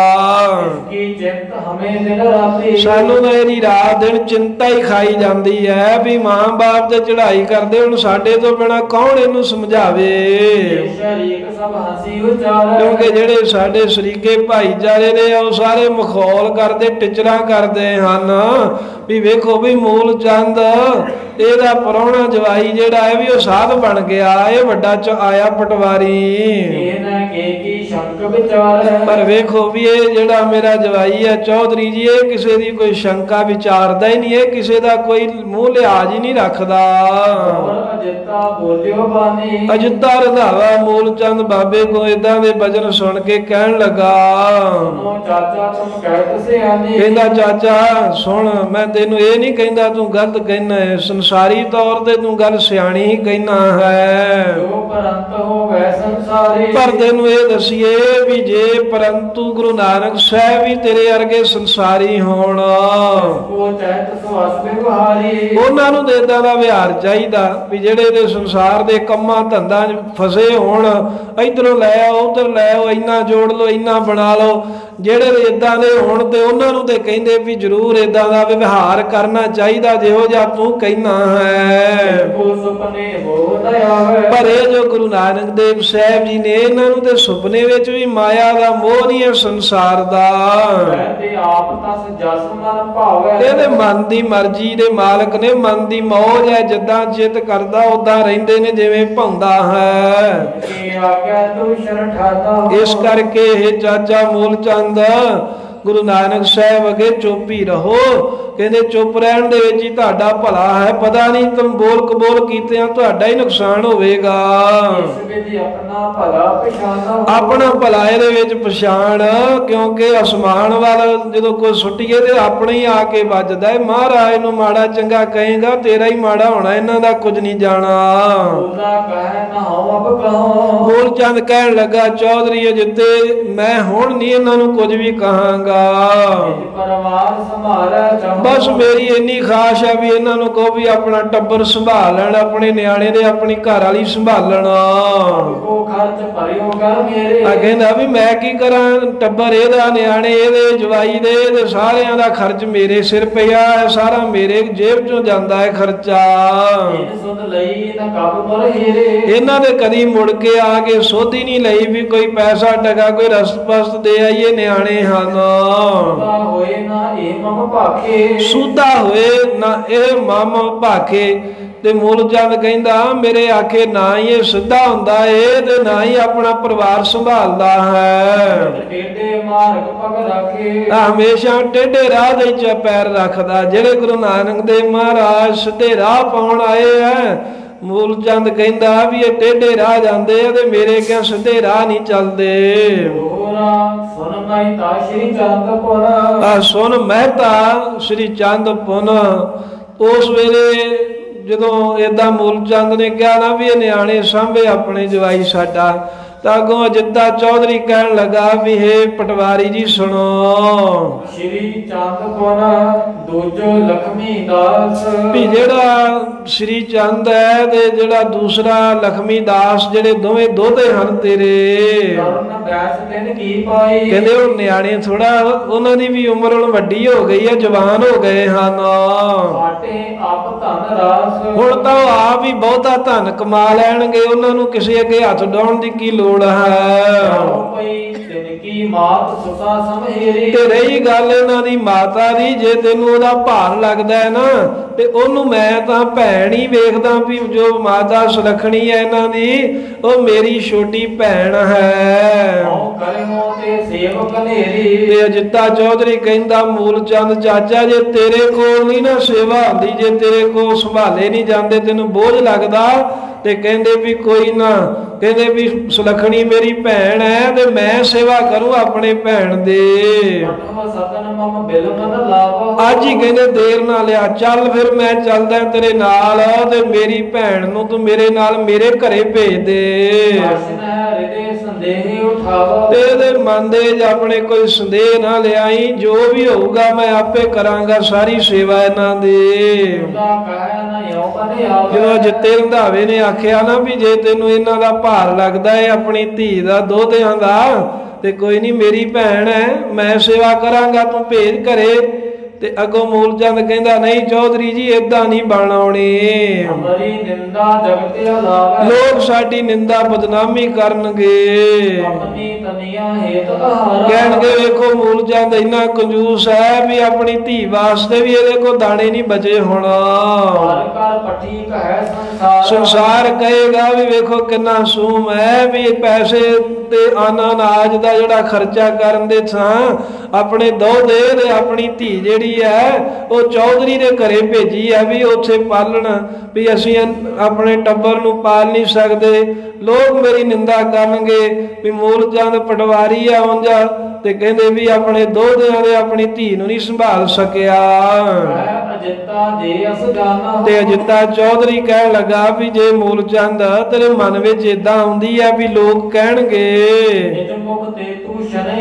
ਤੇ ਫਿਰ ਆਪਣੇ ਮੂੰਹ ਤੇ ਕਾਬੂ ਰੱਖ ਨਾ ਫਿਰ ਚੁੱਪ ਕੀਤਾ ਰਹਿ ਜੇ ਤੇਰੇ ਘਰੇ ਹਨ ਤੇ ਫਿਰ ਇਹਨਾਂ ਦੀ ਸੰਭਾਲ ਕਰੀ ਜਾ। ਆ ਕਿਉਂਕਿ ਗੁਰੂ ਸਾਹਿਬ ਜੀ ਦੇ ਅੱਗੇ ਕੀ ਕਿਹਾ ਜਾ ਸਕਦਾ ਇਹਨਾਂ ਨੂੰ ਨਹੀਂ ਕੋਈ ਕਹਿ ਸਕਦਾ। ਕੋ ਭੇਦ ਸੁਝਾਏ ਨ ਜਾਣੇ ਜਿਨ੍ਹਾਂ ਦਾ ਤੇ ਕੋਈ ਭੇਦ ਹੀ ਨਹੀਂ ਪਾ ਸਕਦਾ ਜਿਨ੍ਹਾਂ ਬਾਰੇ ਕੋਈ ਸਮਝ ਨਹੀਂ ਸਕਦਾ। ਦੁਖ ਆਵੇ ਸੁੱਖ ਆਵੇ ਤਾਂ ਅੜੋ ਇੱਕ ਅਵਸਥਾ 'ਚ ਰਹਿਣ ਵਾਲੇ ਹਨ। ਸਾਧੂ ਰੂਪ ਨੇ ਰੱਬ ਦਾ ਰੂਪ ਨੇ ਤੇ ਬਹੁਤ ਹੀ ਤਿਆਗੀ ਹਨ। ਜਦੋਂ ਅਜਿੱਤੇ ਰੰਧਾਵੇ ਨੇ ਮਹਾਰਾਜ ਦੀ ਮਹਿਮਾ ਕੀਤੀ ਵੀ ਇਹਦੇ ਸਾਧੂ ਨੇ ਤੇ ਮੂਲ ਚੰਦ ਪਹਿਲਾਂ ਆਂਦਾ ਸੀ ਮੈਂ ਬੋਲਦਾ ਨਹੀਂ ਫੇਰ ਬੋਲਿਆ। ਕਹਿਣ ਲੱਗਾ ਚੌਧਰੀਆ ਜਿਹਨੂੰ ਤੂੰ ਸਾਧੂ ਕਹਿਣਾ ਹੈ। ਇਹ ਸਮ ਕੋ ਨਾ ਕਰੈ ਅਪਰਾਧੋ। ਕਹਿੰਦਾ ਮੈਨੂੰ ਤੇ ਇਦਾਂ ਲੱਗਦਾ ਵੀ ਇਹਦੇ ਵਰਗਾ ਅਪਰਾਧੀ ਕੋਈ ਨਹੀਂ ਇਹਦੇ ਵਰਗੇ ਗੁਨਾਹ ਹੀ ਨਹੀਂ ਕੋਈ ਕਰਦਾ। ਦੋਹਰਾ ਇਸ ਜੈਸਾ ਖੋਟਾ ਨਾ ਕੋ। ਧੰਨ ਗੁਰੂ ਨਾਨਕ ਸਾਹਿਬ ਨੂੰ ਆਹ ਗੱਲਾਂ ਮੂਲ ਚੰਦ ਕਹਿ ਰਿਹਾ ਪਰ ਧੰਨ ਨੇ ਮਹਾਰਾਜ ਜਿਹੜੇ ਕੁਝ ਨਹੀਂ ਕਹਿ ਰਹੇ। ਕਹਿੰਦੇ ਇਸ ਜੈਸਾ ਖੋਟਾ ਨਾ ਕੋ। ਕਹਿੰਦਾ ਜਿੱਥੇ ਚੌਧਰੀ ਇਸ ਮੇਰੇ ਜਵਾਈ ਨਾਨਕ ਕਰਗਾ ਕੋਈ ਖੋਟਾ ਨਹੀਂ ਹੋਣਾ। ਕੀ ਇਹਨੇ ਤਾਂ ਸਾਨੂੰ ਸਾੜਿਆ ਹੀ ਹੈ ਰੋਜ਼ ਬੜਾ ਦੁਖੀ ਕੀਤਾ। ਉਹ ਕਹਿੰਦਾ ਵੀ ਇਹ ਸਾਧੂ ਹੈ ਸਾਧੂ ਹੈ ਦੱਸ ਇਹਦੇ ਜਵਾਈ ਸਾਡੇ ਸਾਧੂ ਦਾ ਕਿਹੜਾ ਲੱਛਣ ਦਿਖਦਾ ਤੈਨੂੰ? ਨਾਮ ਭਰਿਓ ਜਗ ਨਾਹੇ। ਆਵੇ ਚ ਨਾ ਹੀ ਪੈ ਗਿਆ ਵੀ ਹਰ ਕੋਈ ਕਹਿ ਦਿੰਦੇ ਵੀ ਸਾਧੂ ਹੈ ਸਾਧੂ ਰੱਬ ਹੈ ਕਹਿੰਦਾ ਮੈਨੂੰ ਤੇ ਨਹੀਂ ਦਿਖਦੇ। ਆਓ ਪਈ ਚੰਦੋ ਰਾਣੀ ਕਰ ਕੀ ਫੇਰ। ਜਦੋਂ ਮੂਲ ਚੰਦ ਇਦਾਂ ਬੋਲਿਆ ਤੇ ਫੇਰ ਚੰਦੋ ਰਾਣੀ ਕੜਕੀ ਕਹਿੰਦੇ ਫਿਰ ਇਹ ਵੀ ਗੱਜੀ ਲੱਗ ਗਿਆ। ਮਾਰ ਖਾਇਓ ਆਖਿਆ ਢੇਰ। ਕਹਿਣ ਲੱਗਾ ਵੇ ਚੌਧਰੀਆ ਤੂੰ ਕਹਿੰਦਾ ਸਾਧ ਇਹਨੇ ਕਹਿੰਦੇ ਲੋਕਾਂ ਨੂੰ ਕਹਿ ਕਹਿ ਕੇ ਆਪਣਾ ਨਾਮ ਨਾਨਕ ਤਪਾ ਰਖਾਇਆ ਵੀ ਮੈਨੂੰ ਨਾਨਕ ਤਪਾ ਕਹੋ। ਇਨੋ ਵੈਰ ਫਕੀਰੀ ਬੇਸਾ ਤੇ ਬਾਹਰ ਫਕੀਰਾਂ ਵਾਲਾ ਸਾਧਾਂ ਵਾਲਾ ਲਿਬਾਸ ਧਾਰਿਆ ਵੀ ਕੱਪੜੇ ਵੇਖ ਕੇ ਲੋਕ ਸਮਝਣਗੇ ਵੀ ਬੜਾ ਵੱਡਾ ਸਾਧੂ ਆਇਆ। ਇਹ ਸੁਤ ਪਰ ਕਹਿੰਦੇ ਕਾਹਦਾ ਸਾਧ ਹੈ ਆਪਣੇ ਘਰ ਦੀ ਆਪਣੇ ਨਿਆਣੇ ਛੱਡ ਕੇ ਤੇ ਦੂਜੇ ਦੇਸ਼ਾਂ ਤੁਰਿਆ ਫਿਰਦਾ। ਅਨਾਥ ਤਿਨ ਗਇਓ ਭਲਾਈ ਇਹ ਤਾਂ ਕਹਿੰਦੇ ਜਿਉਂਦੇ ਜੀ ਨਿਆਣਿਆਂ ਨੂੰ ਅਨਾਥ ਕਰਕੇ ਤੇ ਕਹਿੰਦੇ ਭੱਜ ਗਿਆ। ਤੂੰ ਕਹਿੰਦਾ ਵੀ ਇਹ ਸਾਧੂ ਹੈ ਇਹ ਤਾਂ ਬੱਚਿਆਂ ਨੂੰ ਜਿਉਂਦੇ ਕਹਿੰਦੇ ਯਤੀਮ ਕਰ ਗਿਆ ਬਾਪ ਮਰ ਜਾਵੇ ਤੇ ਨਿਆਣੇ ਯਤੀਮ ਹੁੰਦੇ ਆ। ਇਹ ਤਾਂ ਜਿਉਂਦੇ ਯਤੀਮ ਕਰਕੇ ਭੱਜ ਗਿਆ। ਤੇ ਤਣਕ ਮਾਤਰ ਵੀ ਇਹਦੇ ਮਨ ਦੇ ਤਰਸ ਨਹੀਂ ਆਇਆ ਵੀ ਮੇਰੇ ਨਿੱਕੇ ਨਿੱਕੇ ਨਿਆਣੇ ਹਨ ਕੌਣ ਸੰਭੂਗਾ? ਪਰਮੇਸ਼ਰ ਕੋ ਭੈ ਕਰ ਕੇ। ਚੰਦੋ ਰਾਣੀ ਕਹਿਣ ਲੱਗੀ ਚੌਧਰੀ ਅਜਿੱਤੇ ਰੰਧਾਵੇ ਅਸੀਂ ਤੇ ਰੱਬ ਦਾ ਡਰ ਮੰਨਦੇ ਅਸੀਂ ਤੇ ਰੱਬ ਤੋਂ ਡਰਦੇ ਹਾਂ। ਕੋ ਕਹਿ ਤਨ ਕਸ਼ੂ ਵਿਚਰ ਕੈ। ਇਹ ਰੱਬ ਦਾ ਡਰ ਰੱਖ ਕੇ ਤੇ ਤਾਈਓ ਕੁਝ ਕਹਿੰਦੇ ਨਹੀਂ ਸਾਰਾ ਕੁਝ ਕਹੀ ਵੀ ਜਾ ਰਹੇ ਐ ਤੇ ਚੰਦੋ ਰਾਣੀ ਕਹਿੰਦੀ ਵੀ ਅਸੀਂ ਤੇ ਰੱਬ ਤੋਂ ਡਰਦੇ ਕੁਝ ਕਹਿੰਦੇ ਨਹੀਂ ਐ ਵੀ ਚਲੋ ਜਵਾਈ ਭਾਈ ਐ। ਨਹੀਂ ਤਾਂ ਮੈਂ ਇਹਨੂੰ ਖਵਾਰ ਕਰਨਾ ਸੀ ਮੈਂ ਦੱਸਣਾ ਸੀ ਵੀ ਸਾਧ ਕਿਵੇਂ ਬਣੀਦਾ ਹੈ। ਇਹ ਖੋਟਾ ਸਵਾਂਗ ਜਿਹੜਾ ਝੂਠਾ ਹੀ ਚੰਦੋ ਰਾਣੀ ਕਹਿੰਦੇ ਨੇ ਪਾਇਆ ਨਾ ਮੈਂ ਸਾਰੇ ਪ੍ਰਗਟ ਕਰ ਦੇਣਾ ਸੀ ਵੀ ਇਹ ਪਖੰਡੀ ਹੈ ਸਾਧ ਸੁਧ ਕੋਈ ਨਹੀਂ ਹੈ ਹੁਣ ਸ੍ਰੀ ਗੁਰ ਤੂੰ ਸ਼ਰਵੈ ਰਹੇ। ਧੰਨ ਗੁਰੂ ਨਾਨਕ ਦੇਵ ਮਹਾਰਾਜ ਸਤਿਗੁਰੂ ਵਰਗਾ ਕੌਣ ਹੋ ਸਕਦਾ ਹੈ ਸੱਸ ਕਿੱਥੋਂ ਤਾਈਂ ਬੋਲ ਰਹੇ ਹੈ ਵੀ ਇਹ ਪਖੰਡ ਕਰਦਾ ਹੈ ਕੋਈ ਸਾਧ ਸੂਦ ਨਹੀਂ ਹੈ ਤੇ ਮਹਾਰਾਜ ਸਾਹਿਬ ਜੀ ਚੁੱਪ ਹੀ ਰਹੇ, ਸਤਿਗੁਰਾਂ ਕੋਈ ਲਫ਼ਜ਼ ਮੋੜਵਾ ਨਹੀਂ ਕਿਹਾ ਅੱਗੋਂ। ਮਹਾਰਾਜ ਸਾਹਿਬ ਜੀ ਨੇ ਆਪਣੇ ਮੁਖਾਰ ਬਿੰਦ ਤੋਂ ਤਨਕ ਮਾਤਰ ਥੋੜਾ ਬਹੁਤ ਵੀ ਬਚਨ ਮੁਖੋਂ ਮੋੜਵਾ ਨਹੀਂ ਕਿਹਾ। ਇਸ ਤੋਂ ਬਾਅਦ ਫਿਰ ਮਾਤਾ ਸੁਲਖਣੀ ਜੀ ਵੀ ਕੁਝ ਬੋਲੇ। ਵੀ ਬੇਨਤੀ ਕੀਤੀ ਸਵਾਮੀ ਜੀ, ਮੈਂ ਵੀ ਤੁਹਾਨੂੰ ਕੋਈ ਲਾਮਾ ਦੇਣਾ। ਇਹਨਾਂ ਵੀ ਮੱਠਾ ਜਿਹਾ ਲਾਮਾ ਦਿੱਤਾ ਜਿੱਤੇ ਰੰਧਾਵੇ ਨੇ ਰੋਕਿਆ। ਮਹਾਰਾਜ ਸਾਹਿਬ ਜੀ ਬੇਨਤੀ ਸੁਣ ਕੇ ਕਹਿਣ ਲੱਗੇ, ਸੁਲਖਣੀ, ਦੁੱਖ ਸੁੱਖ ਝੱਲਣਾ ਪਊਗਾ ਜੇ ਸਾਡੇ ਨਾਲ ਰਹਿਣਾ। ਸਤ ਵਜਨ ਕਿਆ ਕਹਿੰਦੇ, ਫਿਰ ਕਰ ਨਿਆਣੇ ਤਿਆਰ ਤੇ ਚੱਲੀਏ ਆਪਾਂ। ਜੇ ਮਹਾਰਾਜ ਸਾਹਿਬ ਜੀ ਫਿਰ ਮਾਤਾ ਸੁਲਖਣੀ ਜੀ ਨੂੰ ਤੇ ਆਪਣੇ ਸਾਹਿਬਜ਼ਾਦੇ ਬਾਬਾ ਸ਼੍ਰੀ ਚੰਦ ਜੀ ਮਹਾਰਾਜ, ਬਾਬਾ ਲਖਮੀ ਚੰਦ ਜੀ ਮਹਾਰਾਜ, ਇਹਨਾਂ ਨੂੰ ਨਾਲ ਲੈ ਕੇ ਜਾਂਦੇ ਨੇ ਕਰਤਾਰਪੁਰ ਸਾਹਿਬ। ਇਹ ਕਥਾ ਪਾਉਣ ਵਾਲੇ ਸਮੇਂ ਦੇ ਵਿੱਚ ਸਰਵਣ ਕਰਾਂਗੇ। ਸਤਿਗੁਰਾਂ ਦਾ ਪਵਿੱਤਰ ਜਸ ਕਰਦੇ ਆਂ ਅਨੇਕਾਂ ਭੁੱਲਾਂ ਗਲਤੀਆਂ ਹੋਈਆਂ। ਮਹਾਰਾਜ ਸਾਹਿਬ ਦੇ ਸੰਗਤ ਬਖਸ਼ਣਹਾਰ ਹੈ, ਬਖਸ਼ ਲੈਣਾ।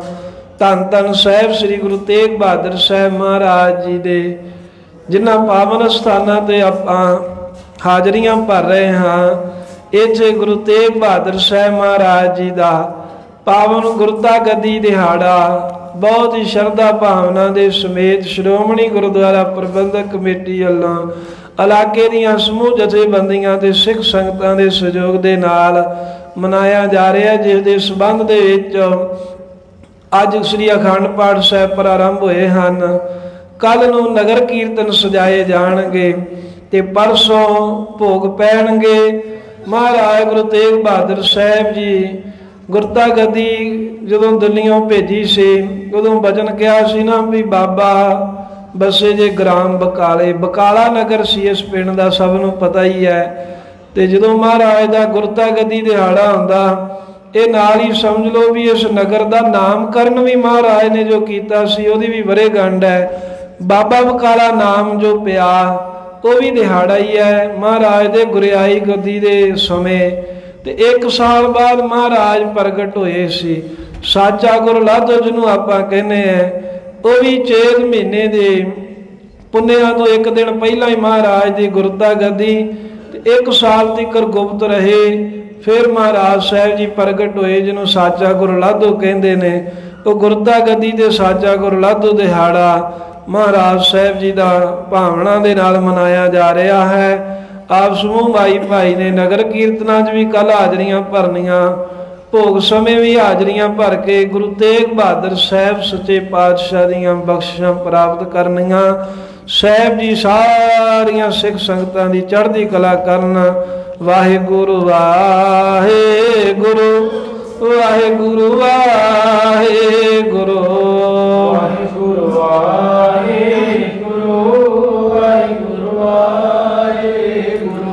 ਵਾਹਿਗੁਰੂ ਵਾਹਿਗੁਰੂ ਵਾਹਿਗੁਰੂ ਵਾਹਿਗੁਰੂ। ਵਾਹਿਗੁਰੂ ਵਾਹਿਗੁਰੂ ਵਾਹਿਗੁਰੂ ਵਾਹਿਗੁਰੂ। ਵਾਹਿਗੁਰੂ ਵਾਹਿਗੁਰੂ ਵਾਹਿਗੁਰੂ ਵਾਹਿਗੁਰੂ। ਵਾਹਿਗੁਰੂ ਵਾਹਿਗੁਰੂ ਵਾਹਿਗੁਰੂ